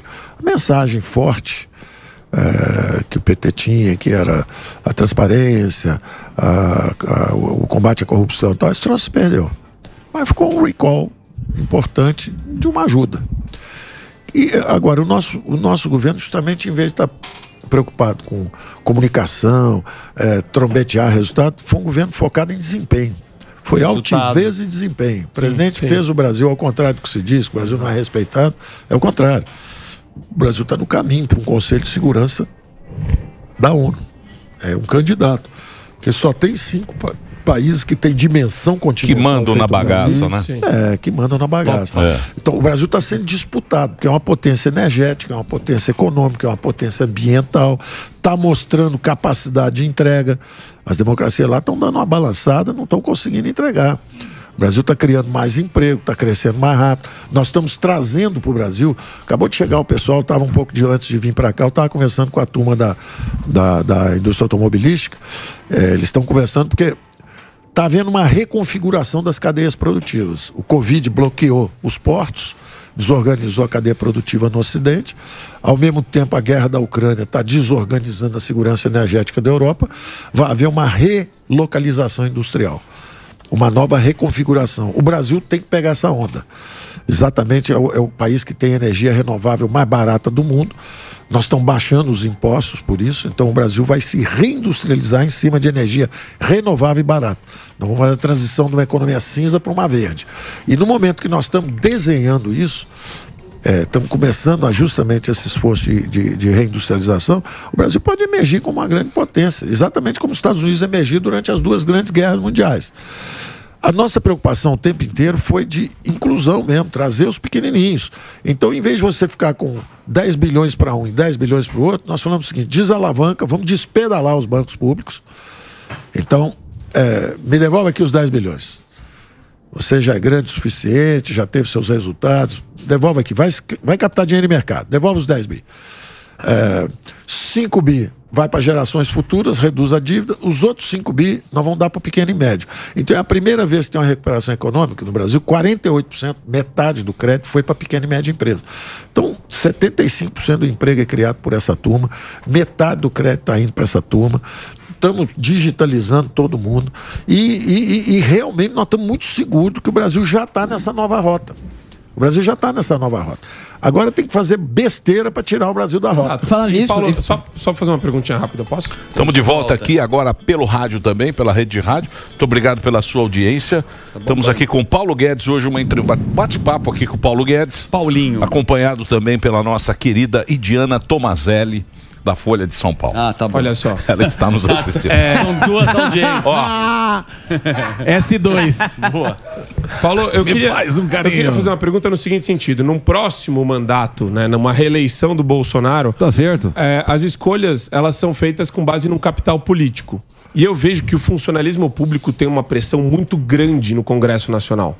Então, por exemplo, a questão da estabilidade. né? Isso é uma falácia, é, é um problema que a gente tem que enfrentar muito sério. Porque isso ajuda, inclusive, no, nessa fixação alta do gasto público hoje no Brasil. E tem também, por exemplo, outra demanda, outra pauta, que é alíquota única para imposto de renda da pessoa física, que era uma demanda que você tinha antes, né, na pré-campanha do Bolsonaro, antes da, da, de 2018. E que ela, por conta de uma questão de capital político, teve que ser colocada de lado. Mas são pautas que, se forem colocadas para frente, elas vão ajudar a alavancar o Brasil para a prosperidade também, né? Olha, eu acho que a contribuição do funcionalismo foi muito forte. Porque você ficar dois anos sem esses reajustes, eles deram uma contribuição importante. Foi uma economia de 160 bilhões nos três níveis de governo. Por isso que o Brasil, por isso que eu acho que as narrativas políticas são muito injustas, parciais e detrimentais ao Brasil, porque elas derrubam o astral de um país que está tendo um desempenho importante. Quer dizer, é, o Brasil está tendo um desempenho importante. Nós estamos realmente nós estamos tendo um desempenho melhor do que os avançados e tirando o Brasil do buraco mesmo. Então, quando você vai ver os dados do que está acontecendo, por exemplo, os estados e municípios receberam esse dinheiro, botaram em dia todas as contas que eles tinham, por um lado, ou seja, não faltou transporte público durante a, a, pandemia. Nó- o, o ônibus tem que ficar circulando, mesmo que tá todo mundo em casa. Se você precisar de hospital e sair, você precisa de um transporte para te levar para o hospital. Ampliar os leitos hospitalares. Então foi um esforço colossal. Nós tivemos que bloquear as exportações de máquinas e ventiladores pulmonares, máscaras. Botamos a Receita Federal travando tudo. Baixamos 1.500 tarifas de importação de produtos médicos hospitalares. Recuperamos várias empresas privadas pra, com medo de que as pessoas pudessem morrer nos corredores sem um ventilador pulmonar. Depois fomos fazer a, a compra das vacinas. Vacinamos voluntariamente. Quem quiser vacinar, está aqui a vacina. O brasileiro toma vacina, gosta de futebol, toma vacina. De graça até injeção na veia. Partiu Opa, todo mundo tomei cima. todas. E voltamos. Tomei todas. Retorno seguro ao trabalho, bombando turismo, criação de emprego em todas as regiões, em todas as áreas. Sul do Brasil, eu tive lá em Nomitoque outro dia, a segunda maior feira de agronegócio é, é, do mundo, a primeira na Alemanha. Os empresários todos pegando carro, dirigindo, tiveram que voltar à noite, engarrafar a estrada para chegar no lugar onde nós fomos para agradecer a política econômica e dizer, olha, estamos mandando aviões buscar trabalhador em Roraima, porque o que tinha de paraguaio e argentino aqui já empregamos todo mundo e estamos precisando de gente. Então há áreas do Brasil que estão crescendo forte, em ritmo forte. Outro dia eu fui para Salvador, mesma coisa, turma super animada, bombando também. Então o Brasil já está andando. E as narrativas são como se fosse um, um caos permanente. Ah, agora tem... Porque cada vez que dá errado, tem uma rolagem da desgraça. Aí esse ano não vai fazer nada, aí faz. Ah, o ano que vem vai cair, não cai. Ah, mas esse ano agora vai ter recessão. Não tem, tem crescimento. Ah, mas agora é o ano que vem, estão deixando uma bomba de 400. Tem um negócio chamado reserva de liquidez, se tiver qualquer problema, não conseguir vender dívida. Estão dizendo que tem 400 de bomba para o ano que vem. A reserva de liquidez é 800, é o dobro. Se houvesse a bomba, que não há, você tem o dobro do lado de lá, esperando. Ô Paulo, você tá falando que o Brasil tava seguindo, tá seguindo numa rota muito importante na questão da economia. A gente tá vendo nos países vizinhos. Qual é a tua avaliação dos países vizinhos? O que, que eles estão fazendo de errado? O que, que o Brasil tá fazendo Caminho da diferente? miséria. Eles estão no caminho da miséria. Argentina, Eles estão no caminho da Senhora. miséria. Argentina, Chile, Uma tristeza, Argentina. A esquerda mundo. promete o paraíso e entrega o inferno. Exato. Continua fazendo a mesma coisa. São nobres ideais, são sempre muito bem intencionados, mas não conhecem a economia. Fala bonito. É um discurso bonito que não é um entrega. discurso né? bonito que não entrega. bonita, E nós vamos aos trancos e barrancos, discurso maus modos, discurso ruim, comunicação É isso aí. tumultuada, não é, presidente? É isso mesmo, é o que eu venho falando pra turma aí, jeito, porra. né, presidente? Tá certo. É, Mas vamos junto. vamos Isso, junto, é PG. isso aí. Tá, tem uma coisa que você é entusiasta que é todo mundo, o mercado financeiro, o cara chão de fábrica, respeita muito o Paulo Guedes, seja o cara que é empreendedor, Sim. e a gente fala muito sobre educação financeira.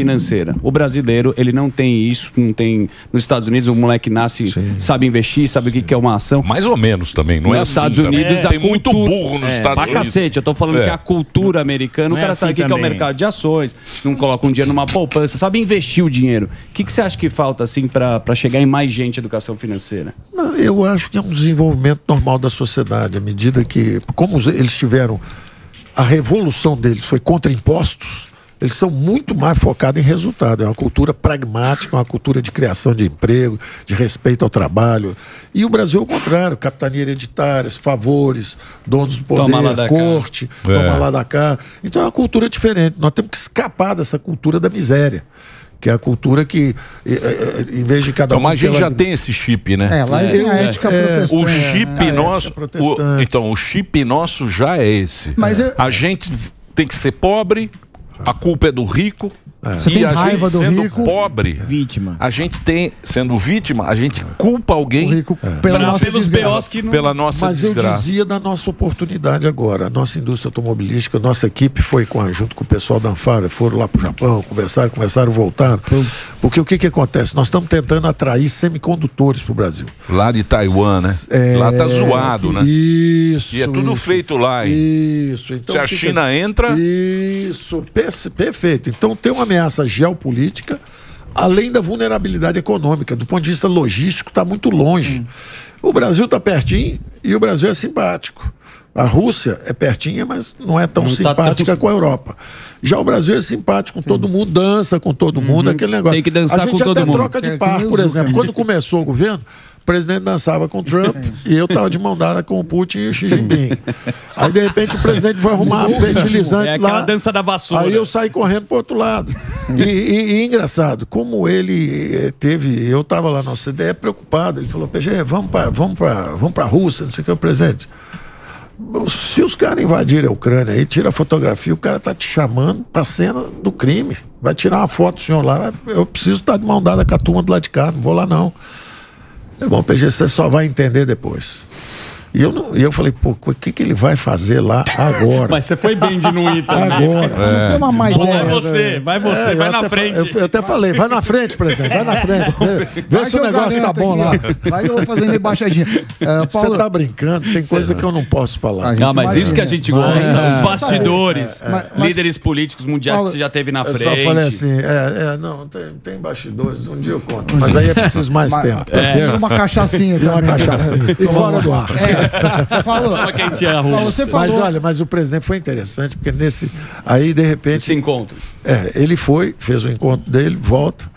Aí eu tô lá na reunião da OCDE, aí um dia eu tomo uma chamada lá na chincha, a turma reúne e fala assim, vem cá, vocês afinal estão lá? Não, o presidente errou o time, ele só foi lá. Como é que ele podia descobrir que ia haver uma invasão e tal? Não podia. Aí eu tinha acabado de ler um livro, Os Homens do Kremlin, que dizia o seguinte, ó, o, Putin está cumprindo. Bom, deixa pra lá. Aí, Ele tá, aí, eu- ele tá aí- manual. A estratégia. Aí eu, aí eu tentando né, equilibrar a situação lá na OCDE, não, o presidente do Brasil é neutro, dança com todo mundo, tá tudo bem, nós não vamos. Olha, o único país que condenou, o único país dos BRICS que condenou a invasão. Tamo junto, beleza e tal. Aí eu chego aqui, o presidente, ah, engraçado, né? Falando que eu tô com o time errado, né? Daqui uma semana a gente conversa. Você vai ver. Aí você vai ver. Aí passa uma semana, passa uma semana, aí chega e fala assim, já vem cá, chegaram aí 27 navios com 700 mil toneladas de fertilizante. Vai dar E os agora? Vai ajoelhar quer- no milho ou não vai? quer que tomar uma vai pedir agora? desculpa?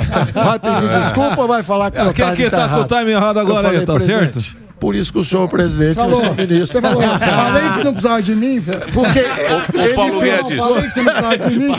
ele pensou, ele pensou nos 200 milhões de brasileiros. Falou, ó, eu estou preocupado com a fome do Brasil. Esse negócio aí de no futuro, OCDE, tá bom, a gente conversa. Deixa eu perguntar uma coisa pra você, por exemplo, eu tava vendo a Argentina, puta, dá dó da Argentina, porque É. a gente tá patinando aí, tá afundando. Quanto tempo o Brasil tá afundando? Uns 30 anos? A Argentina tá mais, né? Cento e poucos. Porra, a A Argentina. Argentina, em 1906, tinha É uma metrô, situação o horrorosa, primeiro metrô cara. da América Então, Latina. eu tava vendo os velhinhos da Argentina viu? catando latinha. Velhinho pegando, abrindo lixo. A- não, pegando latinha pra vender latinha, porque a aposentadoria. né? Fazer reciclagem. A Então, abrindo- também tá isso, isso, exatamente isso. A gente vê que a situação do mundo não tá boa. Não tá Tive a boa. Europa zoada, a Vai inflação. piorar. Recessão Má iminente notícia. na Por exemplo, lá os caras não estão acostumados. A energia lá subiu três vezes. Sim.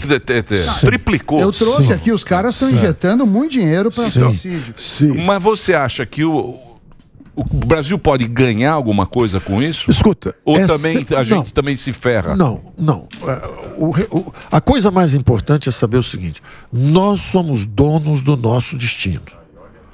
O Brasil tem uma dinâmica própria. Como eu dizia, são só cinco países que têm mais 2 milhões e 500 mil quilômetros quadrados, tem mais de 100 PIB. milhões de habitantes e tem um PIB de mais de um trilhão.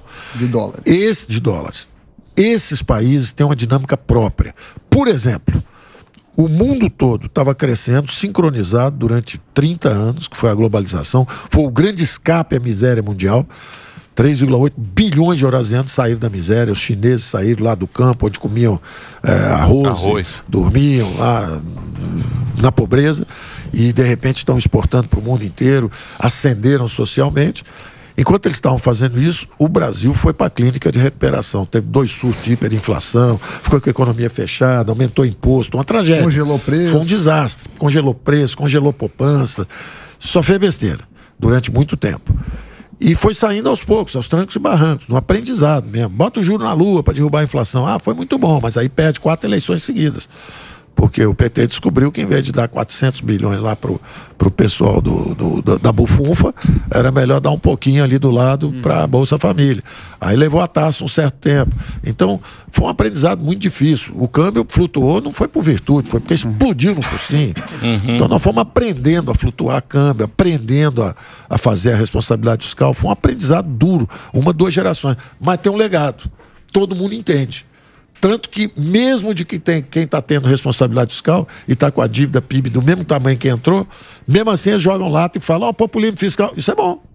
Se não fosse parcial, se não fosse militância, era até bom. É sinal de alerta, é sinal que nós todos estamos acordados. Isso é progresso, isso é bom.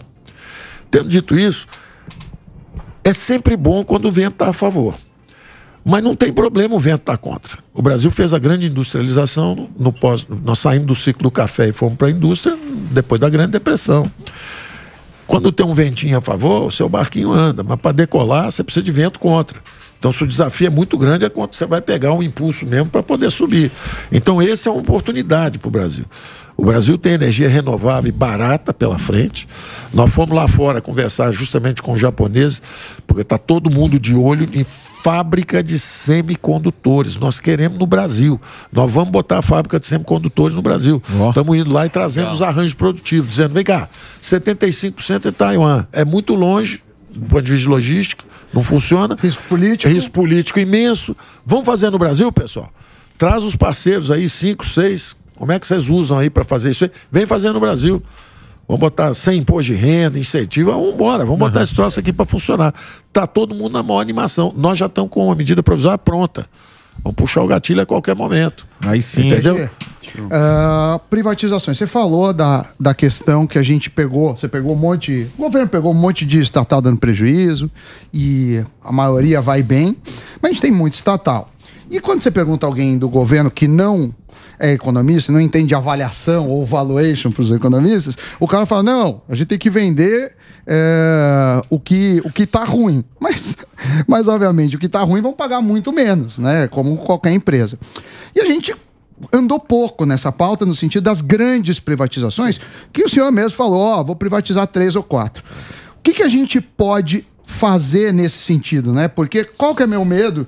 Imagino que é o seu. O governo Bolsonaro, reeleito ou não, uma hora vai trocar o bastão. Seja agora, seja daqui a quatro anos. Dependendo quem pegar, o cara pode ser Sabe? estatizante. 100% de acordo. Eu digo, por exemplo, presidente, tirar tudo que é militante lá, de PT das empresas estatais, e encher depois de militante do outro lado, não, Não resolve, adianta. não. Exato. Não adianta, não. É, o, o- o- todo poder corrompe. O poder absoluto corrompe absolutamente. Então, o negócio é o seguinte: você tem um tempo para fazer as transformações que o Brasil precisa. É um país que o Estado é rico e o povo ainda não tem propriedade.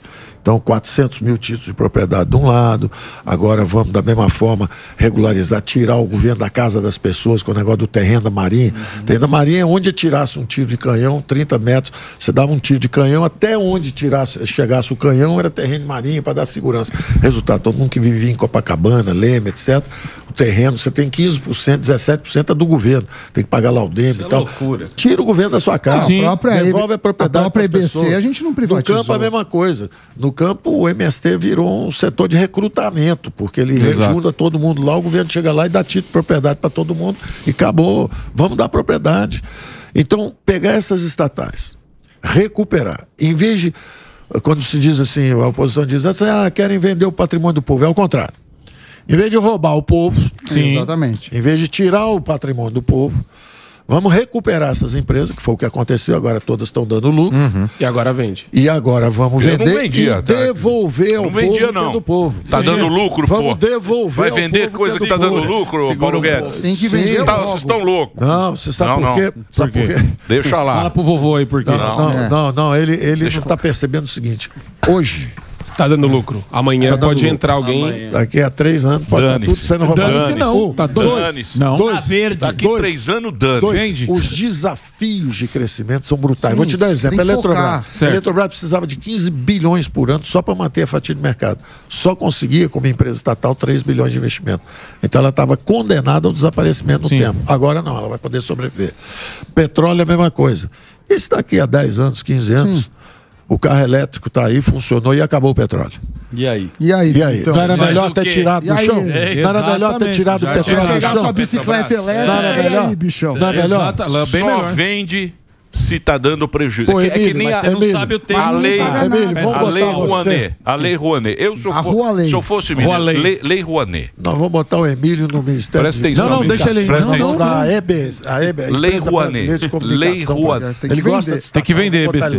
Pelo menos, pelo menos melhora Tá a comunicação. lucro. Correios. fazer. Vamos botar ele lá. Você vai vender o correio agora que tá Ele vai funcionando? fazer o Domingão do Milhão. Vai, funcionar melhor ainda. Vamos fazer. Correio funcionando. Não, vende o Correios, correio. olha vende, só. Vende. Correios, Não Correios. Tem que fazer um Correios break. entregava carta. Sim. Não é isso? Sim. Algum de vocês mandou uma carta nos últimos A carta. anos? Não, nunca. faz na minha vida Entregava inteira. carta. Aí passou a ser agora uma empresa de logística. Sim.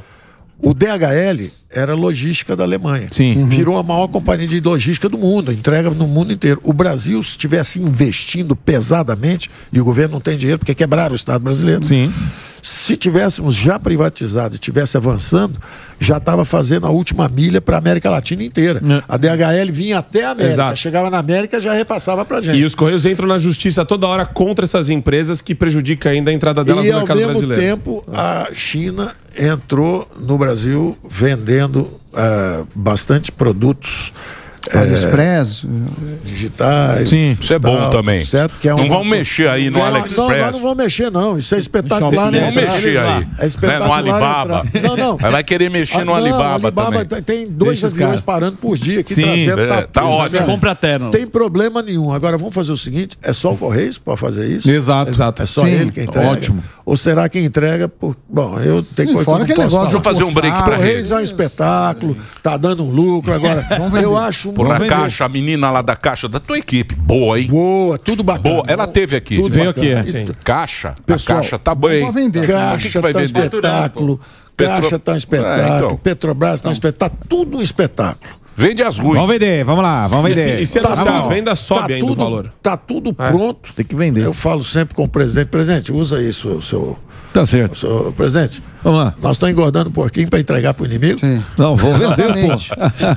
Vai entregar pro inimigo, não. Que eles, você Aí sabe vai- que ele faz? Faz Ou bolo no nós vamos transformar a economia brasileira. Por exemplo, Correios vai investir, em vez de ter um lucro de 3, vai investir 9 bi por ano. Vai ser disputado, vai ser encaixado, Exatamente. vai ser disputado por DHL. É, mas todo mundo disputando para ver quem é que é o nosso sócio na Mercado Livre, inteira. Magazine Luiza, todo Mercado mundo tá Livre, Magazine Livre, é. Vamos trabalhar grande, vamos pensar grande. Longo prazo. Vamos passar grande, Claro, longo pô, prazo. Fazer isso aí. Em vez de engordar um pouquinho e entregar ele para abate outra Isso, vez. O que você Deixa falar. eu só fazer um break pra Tô rede. dentro. Então, um break do Reginaldo pra rede. Boa. A gente tá grande audiência. Muito. Tá bom, hein? Bombando, hein? Grande audiência. Estão gostando Pe- dele sem gravata. Tá Paulinho sem PG gravata. tirou a tá gravata. Tá arrumado? Tá, Tá. tá bem, tá bem. Tá fora do ar? Não, Não, estamos tá no sempre ar. no ar. Sempre no ar. Reginaldo, jogar. break. É, pode jogar, pode jogar. É autógrafo jogar. Guardar minha gravata. Guarda a gravata aí. Estamos de volta. A gente tá na TV. Vai chegando. É a Luísa. A gente tá na TV. a Luísa aí. Obrigado, viu, Luísa? Grande no Grande trabalho. Luísa, grande equipe. ô Paulo, é, você tava falando da questão. Mas não é um timaço? É. Vocês gostaram da Daniela? Olha, tá, eu vou falar Vocês uma coisa do você. Macorde? Ele teve aqui? O Diogo, é o cara da PPI. Teve, das teve PPI. Teve, teve. teve, teve. Vocês gostaram do. Agora, outro que vocês falaram aí. Gosto do Roberto Campos Neto? Sim, não, esse é esse bom. não veio. Adoro. Esse é Esse do não Banco veio, Central. mas esse é bom. É do Banco O cara- Central, né? O cara, Esse é o bom. cara tinha Bianco. certeiro, o olho. Gostaram do Bianco? Fala. Gostaram Bianco vai pra O. Bianco gosta de intervenção de preço. Aí é mais ou menos. O Bianco namora intervenção de preço. esse cara aqui é um filtro bom. Você né? viu, né? viu? Você viu? Eu, É. vou, eu vou chamar o Bianco pra conversa. Desencapado também. Ficou a Bianca. falando Coloca que, lugar. que o, que o presidente tá Não é certo. bem assim, Não puxa saco. Não é bem assim, não. Não é bem assim.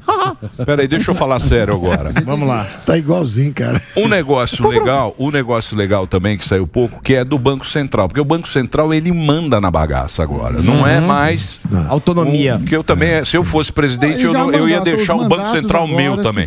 Seu? Ia ser meu, claro. Ah, olha aqui, Olha, esse ia ser meu o Banco esse Central. cara precisa entrar pra política. Ele quer o Banco Central. Não, ele, quer o Banco Central. deixa ele quer, o Banco ele quer Central. Estatais aqui. Ó. Deixa o velho Ele aqui. quer um embaixo de cada braço. Você não sabe o que ele Claro. faz com a gente Você tá entendendo? Eu sei? Agora que eu tô entendendo como é, que É, vocês estão. você vê como a gente sofre O aqui, é um cara, Mussolini o cara é centralizador. Ele é Ele liberal é. pros Não, não. outros. Ah, o cara gosta de mandar. Vovô. O ditador. Banco Central meu, Aí, ó, O o meu-. O o vovô ditador. o meu Banco Central era assim. Quando é ser eleição é daqui um ano. Certo.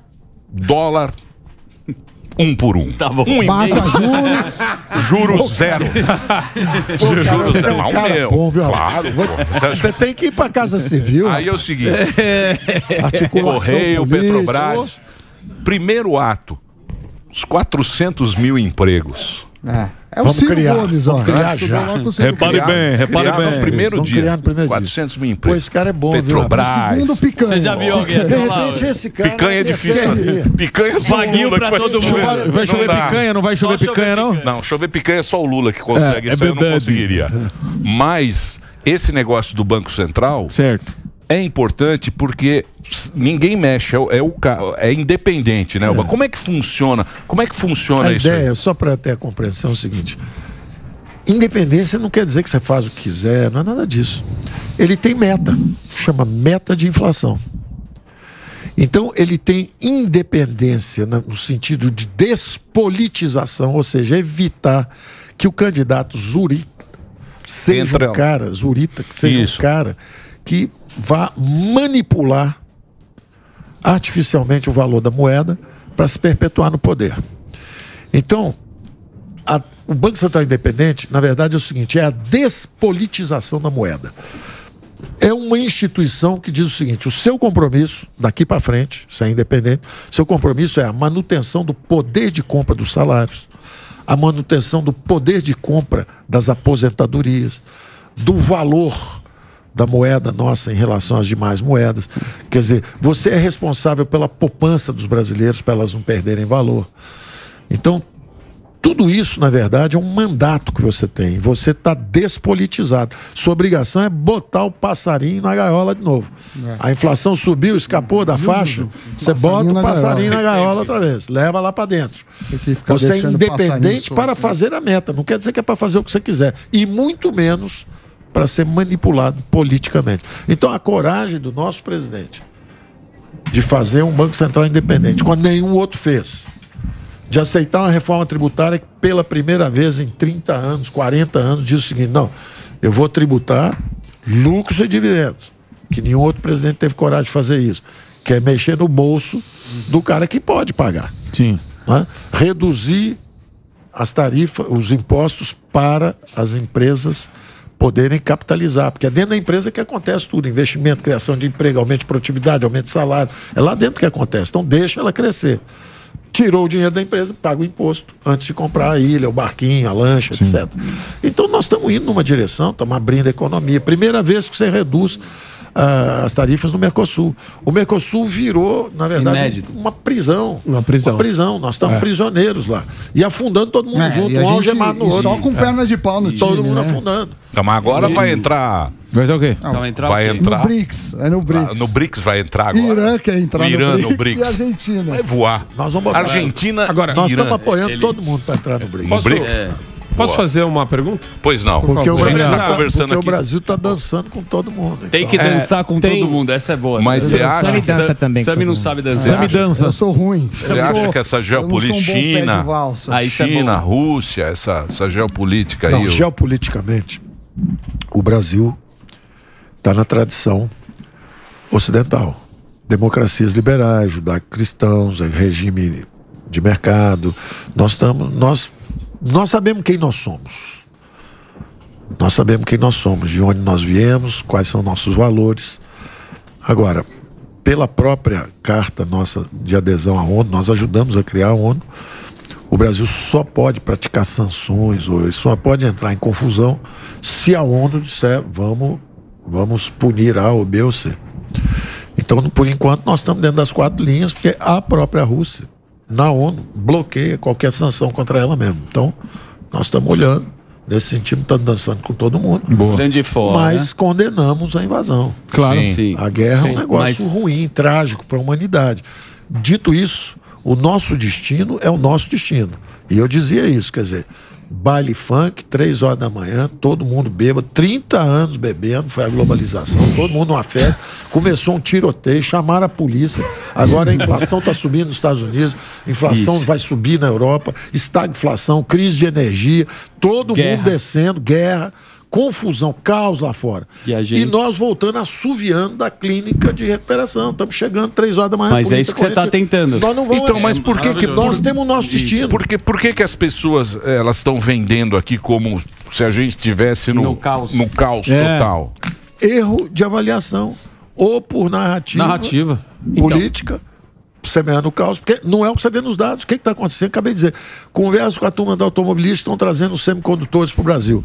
Nós vamos reposicionar a indústria brasileira. Nós perdemos a primeira revolução industrial, está vindo aí a 5.0. Nessa nós vamos embarcar. Energia barata, segurança energética do mundo, energia solar, energia principalmente eólica. A eólica é que é E o agora- Brasil tem domina, hein? empresa que já Por área, domina. E você viu que já É tem o melhor lugar pra isso, estocar pro- energia Sim, agora, sim, baterias estocar que... o vento. Isso. É, agora já dá. Agora pode o vento. estocar o já vento. Mas agora estocar o vento. Mas, Paulo, Mas você falou isso. baixo, só, só nesse assunto, desculpa. Vê uma recessão mundial. Você tá vendo. Vem. Agora, o Brasil, pessoal, o, o, o, a- o impacto de fora, não se esqueçam disso. Não se deixa bater. Nós saímos do pior, que foi o seguinte: essa primeira, essa pandemia, nós atravessamos a onda. Aí botamos o país em pé de novo. Quer dizer, primeiro passou uma devastação, uma nuvem de gafanhoto antes da gente chegar aqui. Com a Quebraram Dilma lá, né? Gatilho, quebraram tudo. Então, mas isso a turma esqueceu. É, então- Lembra aqueles Isso, isso, menos isso, 3, isso. menos 7? Não é por isso. Aquilo, aquilo foi menos ruim, né? 3,5 um ano, menos 3,5 no outro. Sem São pandemia. 7% do PIB. Sem pandemia. 3 milhões de empregos destruídos. Bom, nós criamos 17 milhões.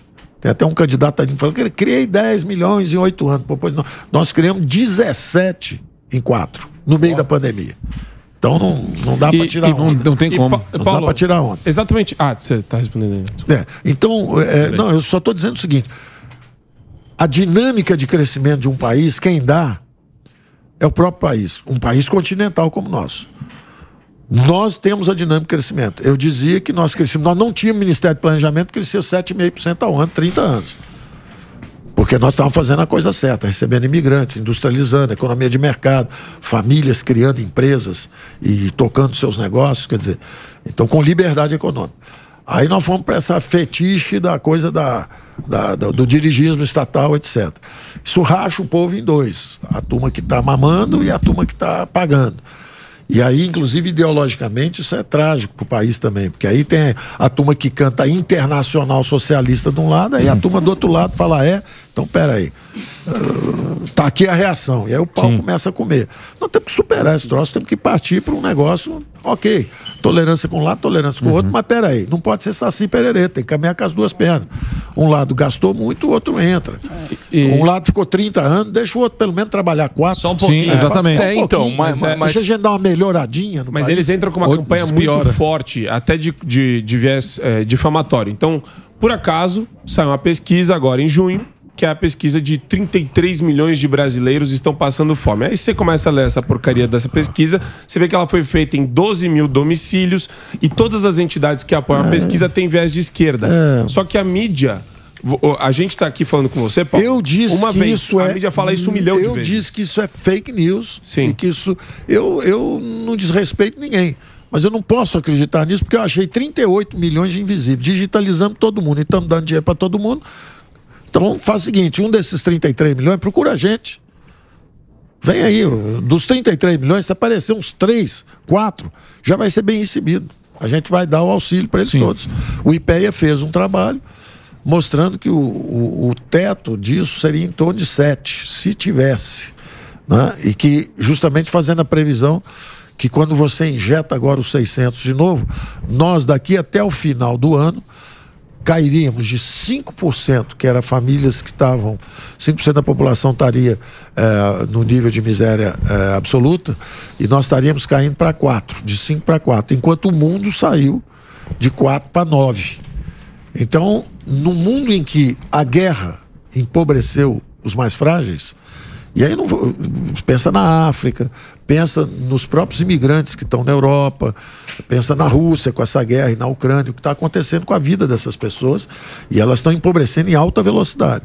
E o Brasil, ao contrário, está reduzindo a pobreza em Paulo- alta velocidade. Paulo, você fala Então, de- esses fake news é, são, entendeu? Ou é narrativa política, Total. ou é trabalho mal feito mesmo. Sim. Porque eh, se tivesse 33 milhões de pessoas passando fome, você estava na pandemia, que tinha 38 milhões de pessoas lá passando fome e nós criamos o auxílio.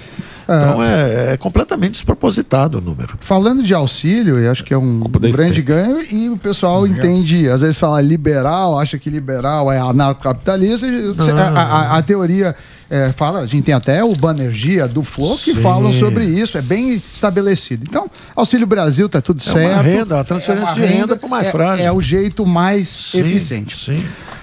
E uma crítica que é válida é o seguinte: foi o pessoal lá do caminhão, foi reclamar, auxílio caminhão. Aí teve Uber, auxílio Uber. Aí teve artista, auxílio artista. Mas ninguém olhou a merendeira da escola, o, o garçom. Por quê? Porque é uma questão política. Né?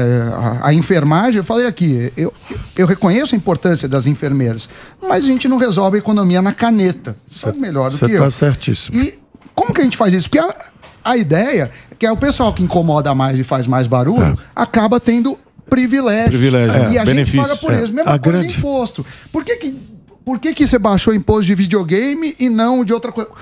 Qual que é o critério? Se a gente não tiver uma reforma, vai ser complicado. Olha, você está certo no seguinte: Ah, a gente se obrigado. preocupa sempre com a política econômica. Agora, a gente tem que entender que eh, nos orçamentos quem manda é a economia política. É. Não é Aí política que- econômica. Política econômica fala assim: só pode ser tanto, gastar tanto aqui. Aí vem a economia política, quer dizer, ó, esse grupo aqui leva, esse aqui Aham. não. E aí o pau come lá entre eles. É, e isso é resultado da política. Sim. É o processo político. Se você perguntar por que foi videogame, É. ou por que foi skate, etc., aí eu até respondo. O presidente gosta da garotada.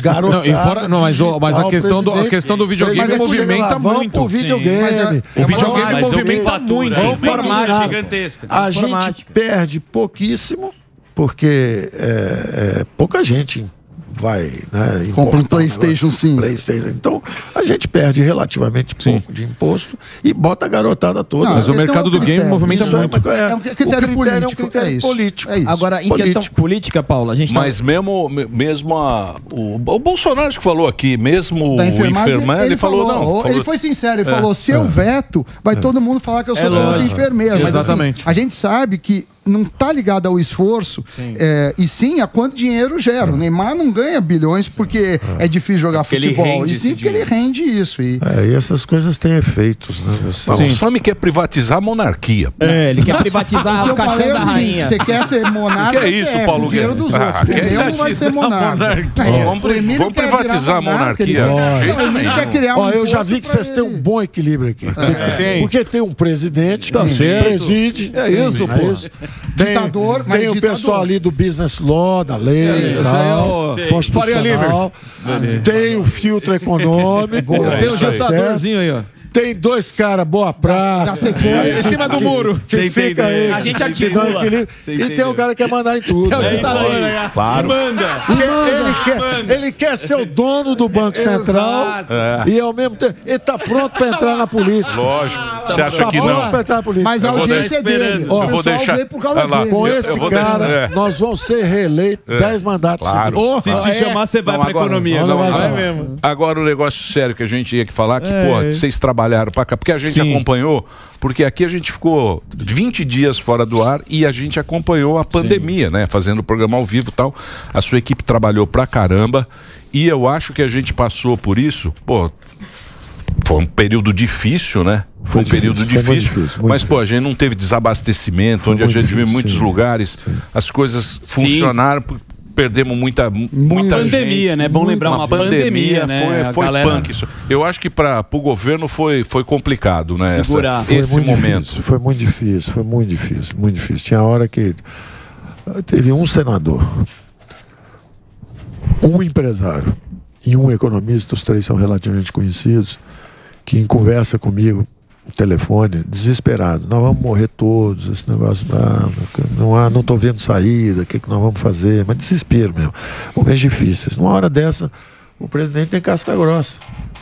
Ele tinha acabado de ser assassinado, entre aspas. Né? Sim. Ressuscitou, né?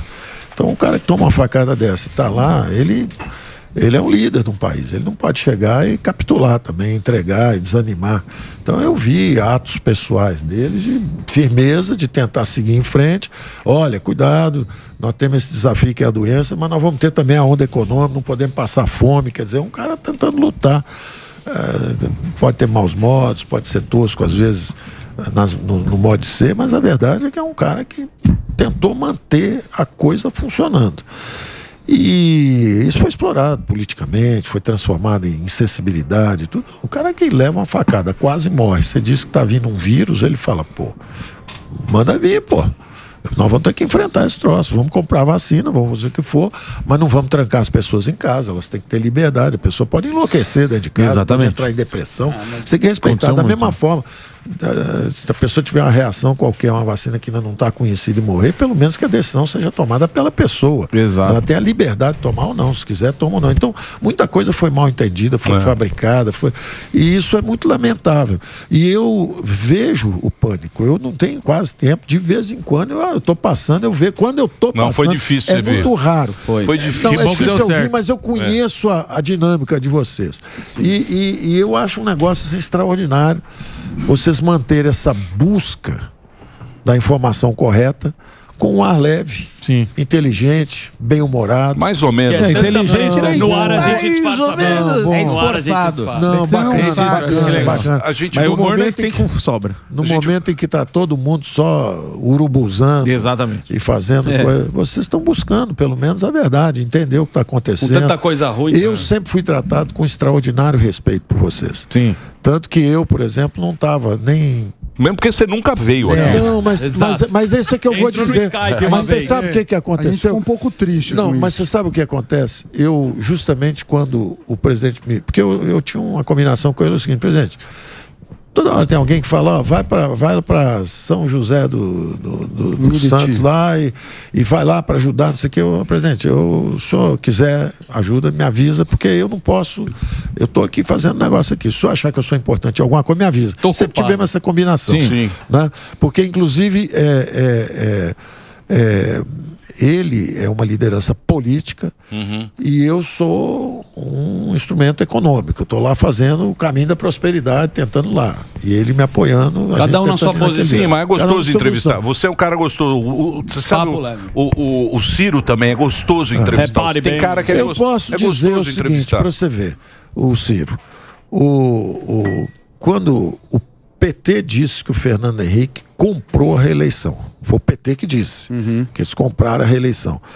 E isso é ruim para a democracia. Sim. Eu, acho, eu Uhum. preferia que os mandatos fossem mais. Eu passei 40 anos escrevendo, eu não posso negar. Sim. Eu não gosto de reeleição. Cinco anos tá bom, né? Cinco anos tá bom sem reeleição, isso seria o ideal. O meu seria 10. Olha lá. Claro, Olha lá, claro. Eu, eu já senti já tudo. sentiu, né? Com o Banco Central. E depois o banco tem, e as estatais. Um. E depois estatais. passa pro Sem filho. vender E nada muitas tá estatais. Passa pro Eu filho depois. Depois vai pro Eu já filho mais entendi 10. tudo. Depois passa pro filho. Isso. Mas, mas, É que nem cartório. Claro.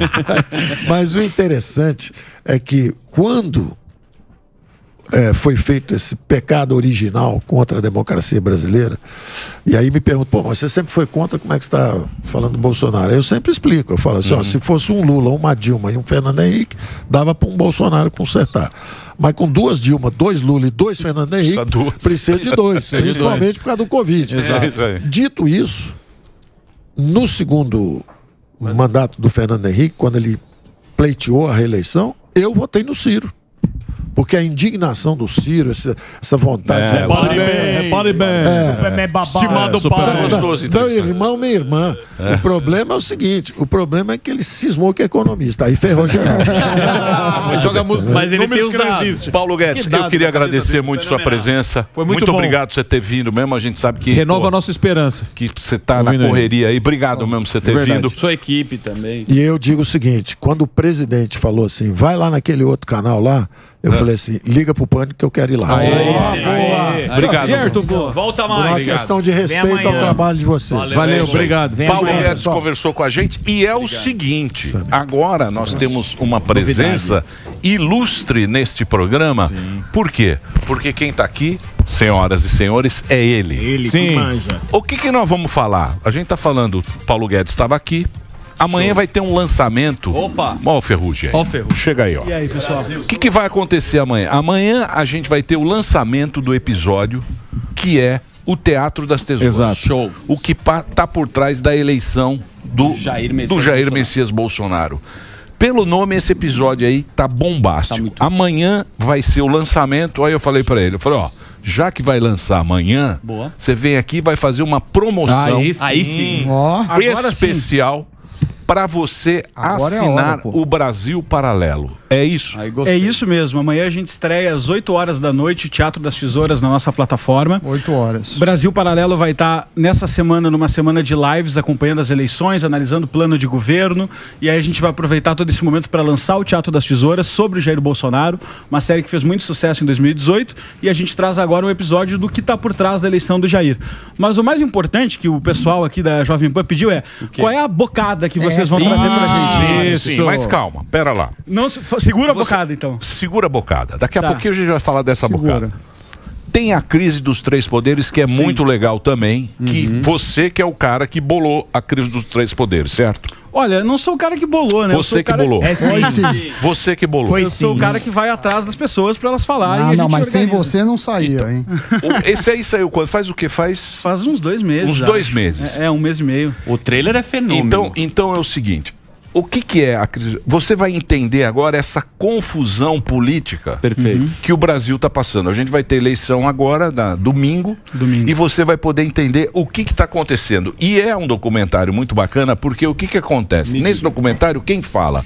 Michel Temer, Ó. Ives Granda, Aires Brito, Nelson Jobim, tem Janaína Pascoal fala, a, a- quem mais? Muita gente importante. Cara, muita gente. Qual, Muita- qual é a Tá. ideia, Emílio? Brasil Paralelo a gente já apresentou várias vezes aqui. É uma empresa que nasceu com a ideia de fazer um conteúdo independente, apartidário e conseguir ter um editorial de valores claros para as pessoas, para elas saberem assim, olha, ali eu encontro o editorial da Brasil Paralelo, o respeito à verdade, o respeito à liberdade, o respeito à meritocracia, o respeito à união e tudo isso que a gente vive defendendo, tá? E a gente tenta embalar isso com a maior qualidade artística possível para ser divertido e fácil de assistir. De lá para cá a gente tem uma plataforma de streaming que tem mais de 70 originais. Sim. Legal. Tem mais e de muito 70 bem, tem uma originais. curadoria Sim. fantástica. Tem, assim, ó, Cortina de Fumaça sobre ambientalismo, 1964 sobre ditadura militar, série sobre história do Brasil, que lançamos uma nova edição agora, tem série sobre Revolução Russa, tem um monte de séries documentais originais. Além disso, tem uma programação infantil que a gente faz com curadoria para pai que não quer ver lacração nos- no programa Sim, tá infantil bom. dos filhos. Tem tudo isso lá, a gente compra de estúdios internacionais. E também compramos de estúdios internacionais filmes com a nossa curadoria. Tem um laboratório de nerd lá dentro que passa o dia inteiro vendo filme. Selecionando. Selecionando os melhores Paramount, MGM, Sony, esses grandes Muito estúdios para comprar lá. Então, quem entra hoje na Brasil Paralelo, quem assina Brasil Paralelo hoje, tem acesso a mais de mil produtos no catálogo. Isso. É, você tem os filmes, é, porque o que acontece? Quando você entra na Netflix, nessas, nessas outras plataformas, você tem muito filme. Sim, sim. Filme ruim, Muito filme ruim. indiano, filme ruim. Eles fazem o quê? Uma curadoria. Então você vai entrar lá, só tem Só filme bom, Uma seleção porque bacana. eles separam os melhores filmes para você. E o que eu acho mais interessante são as produções nacionais. Por quê? Porque eles fazem as produções nacionais dignas de, de gringo. Muita Hollywood qualidade. é muito bem É produzido. Tem um trechinho pra. Putz, pra... Tem um trechinho? Sensacional. Então vou passar um trechinho pra você. Depois eu tenho o esquema aqui. Boa, a gente que vai eu dar. bolei com eles. Passa um trechinho aí, por favor. Brasília já não representa mais uma esperança para os brasileiros.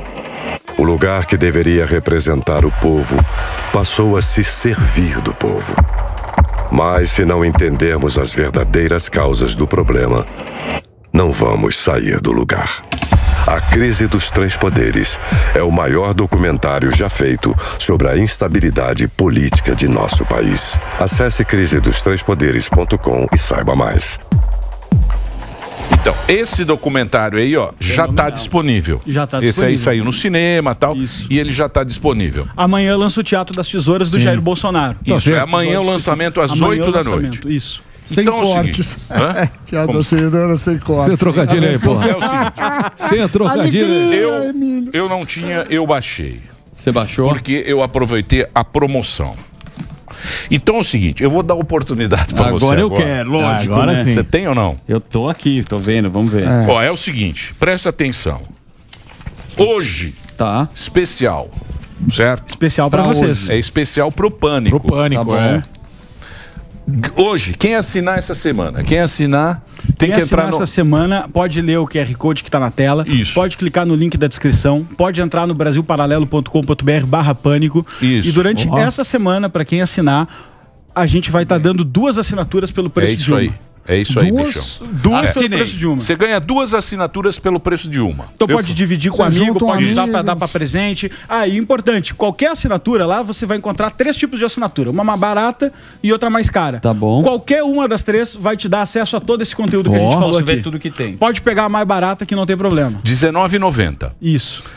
Essa promoção é até dia 30, não é isso? Isso, Até dia exatamente. 30. Tem tempo limitado. Então é o seguinte, você vai ga- garantir já a estreia amanhã do Teatro das Tesouras, amanhã quinta-feira, o novo episódio sobre as eleições amanhã quinta-feira, certo? Certo, Você já horas. garante a estreia. Já está garantida a estreia, o evento de lançamento amanhã. Comprou uma assinatura, ganha outra. Ganha outra. Pode dividir com amigo, pode Legal. dar de Pode fazer que quiser. E se você não gostar da Pode cancelar em sete Você dias. pode cancelar em Ó. sete dias. Foi o que eu fiz. Eu estou. Mas arrependeu. Claro, é claro. Não, minha não, não. Eu já baixei. Você baixou e assinou. Eu entrei nessa, Nessa promoção. daí. Então me dá que você tá sobrando. Então tá aqui, ó. O Brasil lá, Você vai então, baixar, vai. ó. É super rápida, é, é muito legal. É, ó, tem caos e ordem aqui, a sessão do Jorge. Esse aqui é muito bom, né? É bom também. demais. Olha só, é muito, é muito, é muito bem feito, é uma plataforma muito bacana e custa R$19,90. Quem aproveitar essa promoção hoje vai ganhar uma assinatura totalmente. Tem o QR Code, mas tem o site da Tem plataforma. o site brasilparalelo.com.br barra pânico. Você entra lá. Ah, bom. Barra Aê. pânico. Não esquece do barra pânico. brasilparalelo.com.br barra pânico pânico. para conseguir a promoção. E tem uma coisa importante que eu queria falar, Emílio. Por que, que a gente está fazendo essa promoção agora? E o e que, que a Brasil Paralelo tem a ver com esse momento? Domingo é dia de eleição. Isso. Primeiro turno. Isso. Se tem um motivo que a Brasil Paralelo nasceu para existir, é para dar uma maior qualidade de informação sobre o que estava acontecendo. Quando a gente estava começando a empresa, nós éramos vítimas da mídia tradicional, da velha mídia, da mídia que comemora a eleição do Lula como ganha, da mídia, essa mídia, essa mídia que não te traz as infa- informações de uma forma apurada e bem feita. E tu fica meio que, que, que é isso? Aí a gente nasceu para fazer o seguinte, cara, vamos tentar melhorar o nível do debate público, vamos tentar pegar informação de verdade. E isso sempre nos guiou no nosso trabalho, com os nossos editoriais de valores, mas sempre uma busca séria pela verdade. Quando chegou esse documentário que a gente falou agora há pouco, a crise dos três poderes, Isso é muito bom. por que, que a gente foi conversar com Muito os, com os bacanudos? Sabe os bacanudos? Sim, sim. Os caras de terno, que- os- as gravatas que parecem. Toma uísque Sim. caro. Pa- pa- isso, uísque caro, sem gelo. Macau. Por que- Cowboy. Blue Label. Blue É, Label. pra que- cima. que que gente Royal foi- Salute. Por que, que a gente foi conversar com os bacanudos de gravata, guardanapo de restaurante? Porque não tem como falar de crise dos três poderes sem falar com as pessoas que vivem a crise dos três poderes. Então, um presidente de Congresso, um cara que faz parte do Senado, um, um presidente de partido, um ministro do Supremo Tribunal Federal, um ex-presidente do ministro do Supremo, Federa- Supremo Tribunal Federal, é, deputados, pessoas que vivem aquilo e que podem nos dar as informações de bastidores e que a gente leva sem medo. E eu digo, por que, que a gente tem que assinar o Brasil Paralelo e fazer parte disso? Por que, que a gente movimenta as pessoas e quer juntar isso? Porque o Brasil tem um déficit de elite. E elite não é cara que tem dinheiro no bolso, tá comprando Porsche, etc e tal. Elite é gente que puxa a responsabilidade e fala que se o Brasil precisa melhorar, depende Pega de nós. na enxada, né? Tem que pegar Chão na enxada, fábrica, cara. irmão. A gente vive sendo convidado para vários eventos que vai falar lá. é, como a gente se tornou um player de mídia um pouco mais relevante, os caras não convidam, né? Vai falar lá é, palestra do presidente da Câmara, palestra do Bolsonaro, a gente foi. Palestra do Lula, teve agora, a gente foi também. E aí a gente tá, tá lá vendo, meio de outsider. Toda a elite brasileira econômica está lá no meio do negócio. A discussão é rasa, não é ideológica, não é moral, é meramente econômica, é um déficit de elite deplorável. E sabe o que que é pior? A imprensa está dentro desses eventos também. E se a gente depender da imprensa dentro desses eventos, eu tô lá dentro e vejo como é que eles noticiam. Noticiam mentira. Os caras noticiam mentira. Teve eventos com o empresário, agora teve uma palestra com o empresário que o Lula estava falando. E sabe o que, que os caras noticiaram? Que era clima de festa, de ganho no primeiro turno, de que já há comemoração. Mentira! Mentira! A gente também estava lá cobrindo a palestra, ouvindo o cara falar. Não era esse o clima. Tinha dois ou três empresários que a gente sabe bem. Penca da preci- canoa. Não precisamos citar nomes, O né? Penca da canoa. que estavam lá, apoiado, de braço dado com o cara, mas, cara, em geral, tava um clima da galera se cutucando e falando, ô, não é por aí, etc. e Tá tal. certo. E a imprensa traduz isso pro povo como comemoração. Aí eu te pergunto, isso é imparcialidade? Isso é compromisso com a verdade? Não é. Por isso que assinar o Brasil Paralelo, nessa oportunidade de promoção, é a gente se juntar e se preparar para que nessa semana, em reta final de eleição, a gente se eduque um pouco sobre o que está acontecendo. Sim. Qual é o problema do Brasil e possa informação. participar, cara. Boa. É isso aí, Ferrugem. Falou Muito bonito, legal. hein? Falou bonito. Falou bonito. Falou. Paulo Guedes gostou. É o seguinte, a gente. Boa. Já assina. Ó, Paulo Já Guedes assinou. assina. Paulo Guedes assina. A gente tem Grande que Paulo saber. Guedes. A gente tem que, tem que saber para onde vai o barco. Isso. Para onde a gente Está quer que o barco vá. À onde vai? Porque esses caras, Lula, Bolsonaro, esses caras passam. Precisa ver onde é que vai. Nós fica. Exatamente. Nós fica. E tu tem que tomar posse Entendeu? do negócio, cara. Isso é que é o pode ser negócio. Isso é que é o negócio. Valeu, obrigado. Então é o seguinte, a promoção tá valendo para você. Do... Eu aproveitei, ó. Eu não, não tinha. Não vacilou. Eu peguei essa aqui.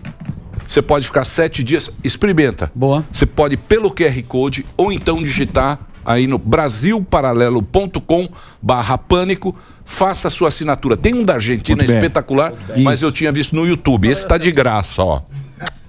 Mas é muito, bom. legal. É, é muito a legal. qualidade de produção você dos baixar, caras. você baixar esse aplicativo aqui, ó. Show. Essa plataforma que é dos caras e Muito é legal. muito bem feita. Vale a pena mesmo. Ferrugem. Você pode pagar em 12 vezes no cartão. Isso. ou então boleto bancário, ou Pix à vista. Se você mudar de ideia, como eu disse, em sete dias, você não vai mudar de Não ideia. vai. Você vai se apaixonar aqui pelo trabalho deles, que é muito bem feito. Você pode. é, você manda um e-mail e você já resolve o seu problema. Show de bola. Então entra lá, Brasil brasilparalelo.com.br barra pânico. barra pânico. Tem link você na descrição pra quem tá no YouTube, tem QR Sim. Code na tela pra quem tá acompanhando. Maravilhoso. É isso aí. Deu show. Deu show. Você Obrigado bem, aí. hein? Obrigado. Obrigado aqui, ó. Já tô com. Amanhã eu vou. É amanhã, né? Amanhã, amanhã. É amanhã. Mais um recado. Amanhã, amanhã estreia Teatro das o Tesouras. Teatro das Tesouras. Você viu ou não? Você assina ou não? Eu vou Eu participar assino. da live de estreia. Eu assino. Hum, poderoso. Ah, fico muito Deixa eu feliz com o aproveitar, convite. então. Eu, Sabará. É o Zuzu. Zuzu tem E um tem recadinho. filmes bons Sabará. pra caramba. Tem. Boa. Filme Sabe bom. que é bom também? O quê? Vou falar pra você. Ah, sim, dar um claro. recado? Segredo? Pra deixar sua Pra noite- ter uma noite. O quê? Não, eu quero que você me dê agora um segredo. Tem minha noite maravilhosa. Todo dia Mas você não é fala. maravilhosa, é maravilhosa. Ah. Daquelas, Emilhão, que você vai ter um desempenho físico e sexual lá em cima. Uma noite onde tudo dá certo e você vai lembrar dela pra sempre, Sami. Forte Ah, sim, virou. O nome já diz tudo. Forte virou mais libido, mais força, mais vigor e muito mais desempenho pra tornar as suas noites inesquecíveis. Forte virou tem ativos naturais que agem de dentro pra fora e revigoram todo o organismo, aumentam a libido, o desejo, dão mais vigor e melhoram o desempenho físico e sexual de homens e mulheres. Com Forte Virou, Sami, a sua noite vai rolar tão bem que parece aquela festa que você quer que nunca acabe. Você vai se sentir outra pessoa, cheia de vitalidade, sempre pra cima. Forte Virou não engorda, não altera a pressão arterial e não interfere em exames de laboratório. É da WP Lab que há 89 anos a gente sempre faz bem pra você. Está à venda em todas as farmácias do Brasil e pelo site Forte Virou Emilhão. É você sempre pra cima. Vou dar pro Paulo Guedes um Forte Virou também, que ele tá aqui. Dá uma assinatura lá. E assinatura. E é o seguinte, assista, assista na eleição agora. Exato. Isso já tá lá. Você baixa, baixou lá o Brasil para, você já assiste pra votar. Você vai entender tudo ali, Sim. que é a crise dos três pontos. Sabe, Aí você vai entender o rolê. É, Aqui, ó, isso, ó, ó. isso. Aí, ó. Ó, Ó, ó, Você vai entender. É. Você vai entender. Pega o gesto, É pega a Break. visão. Obrigado, obrigado, senhor. Vamos pro break, vamos pro break. Mão. Vou vem pra cá. Pra cá, vem pra cá. Superman de capa.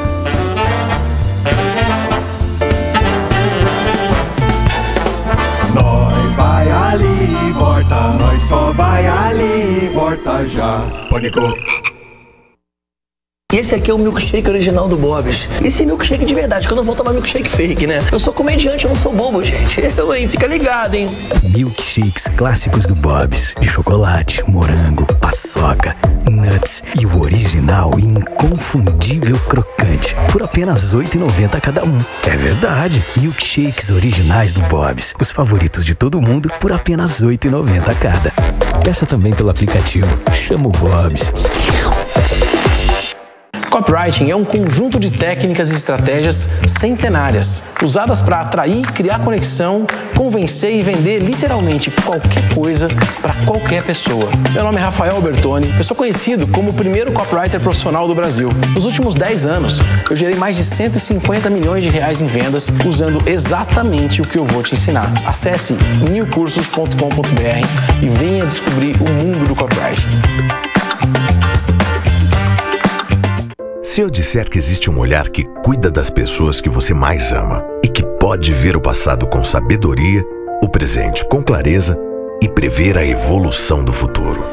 E no fim do dia, tudo o que você sonhou, construiu e lutou para conquistar estará protegido sob o olhar dele.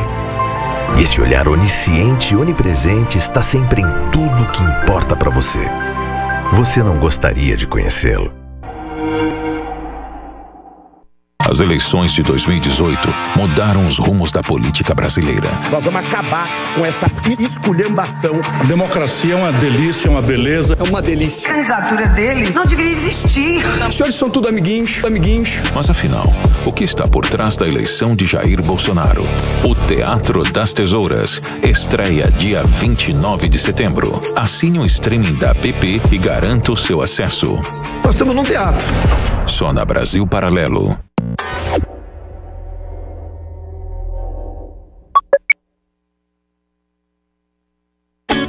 Sempre dá errado a conta do Deló, os caras passando atrás. É, Uma baderna. acréscimo de juiz. Muito obrigado pela sua audiência. Boa audiência, hein? Boa. Foi ótimo. Paulo Guedes pode se candidatar. Fácil. Não é? Pode. Falou bem, falou Falou solto. bem, fala solto, é uma boa entrevista. Batemos o flow. O Flow. Batemos o flow. Ah, você quer que eu vá embora? Tem que ir, tem que entregar. Por quê? Tem que ir embora, tem uma TV aí. Tem uma bela audiência. Agora vai cair a audiência. Vai cair. Vai, vai cair a audiência. Ó, já Vai cair a começou. audiência. Muito obrigado. Amanhã a gente tá de volta, meio-dia, horário de Brasília, no rádio, na TV, uma da tarde. Olha, tudo de bom. Tchau, pessoal. Pois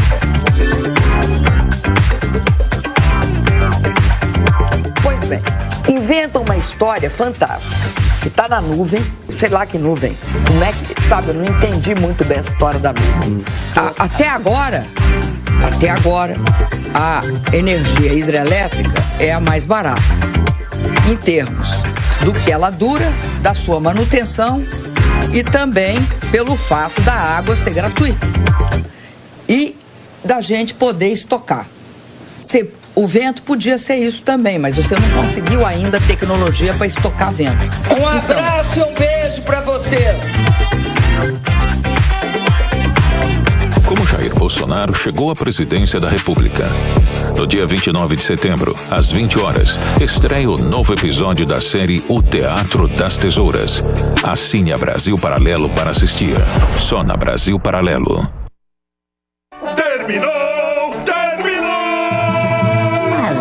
Terminou? Terminou! E eles não desistem! Já terminou! Vamos acabar! Já está na hora de encerrar! Pra quem já almoçou, pode aproveitar e sair pra cá! Acabou mesmo! Acabou! Acabou mesmo! Realização Jovem Pan News. Realização Jovem Pan News.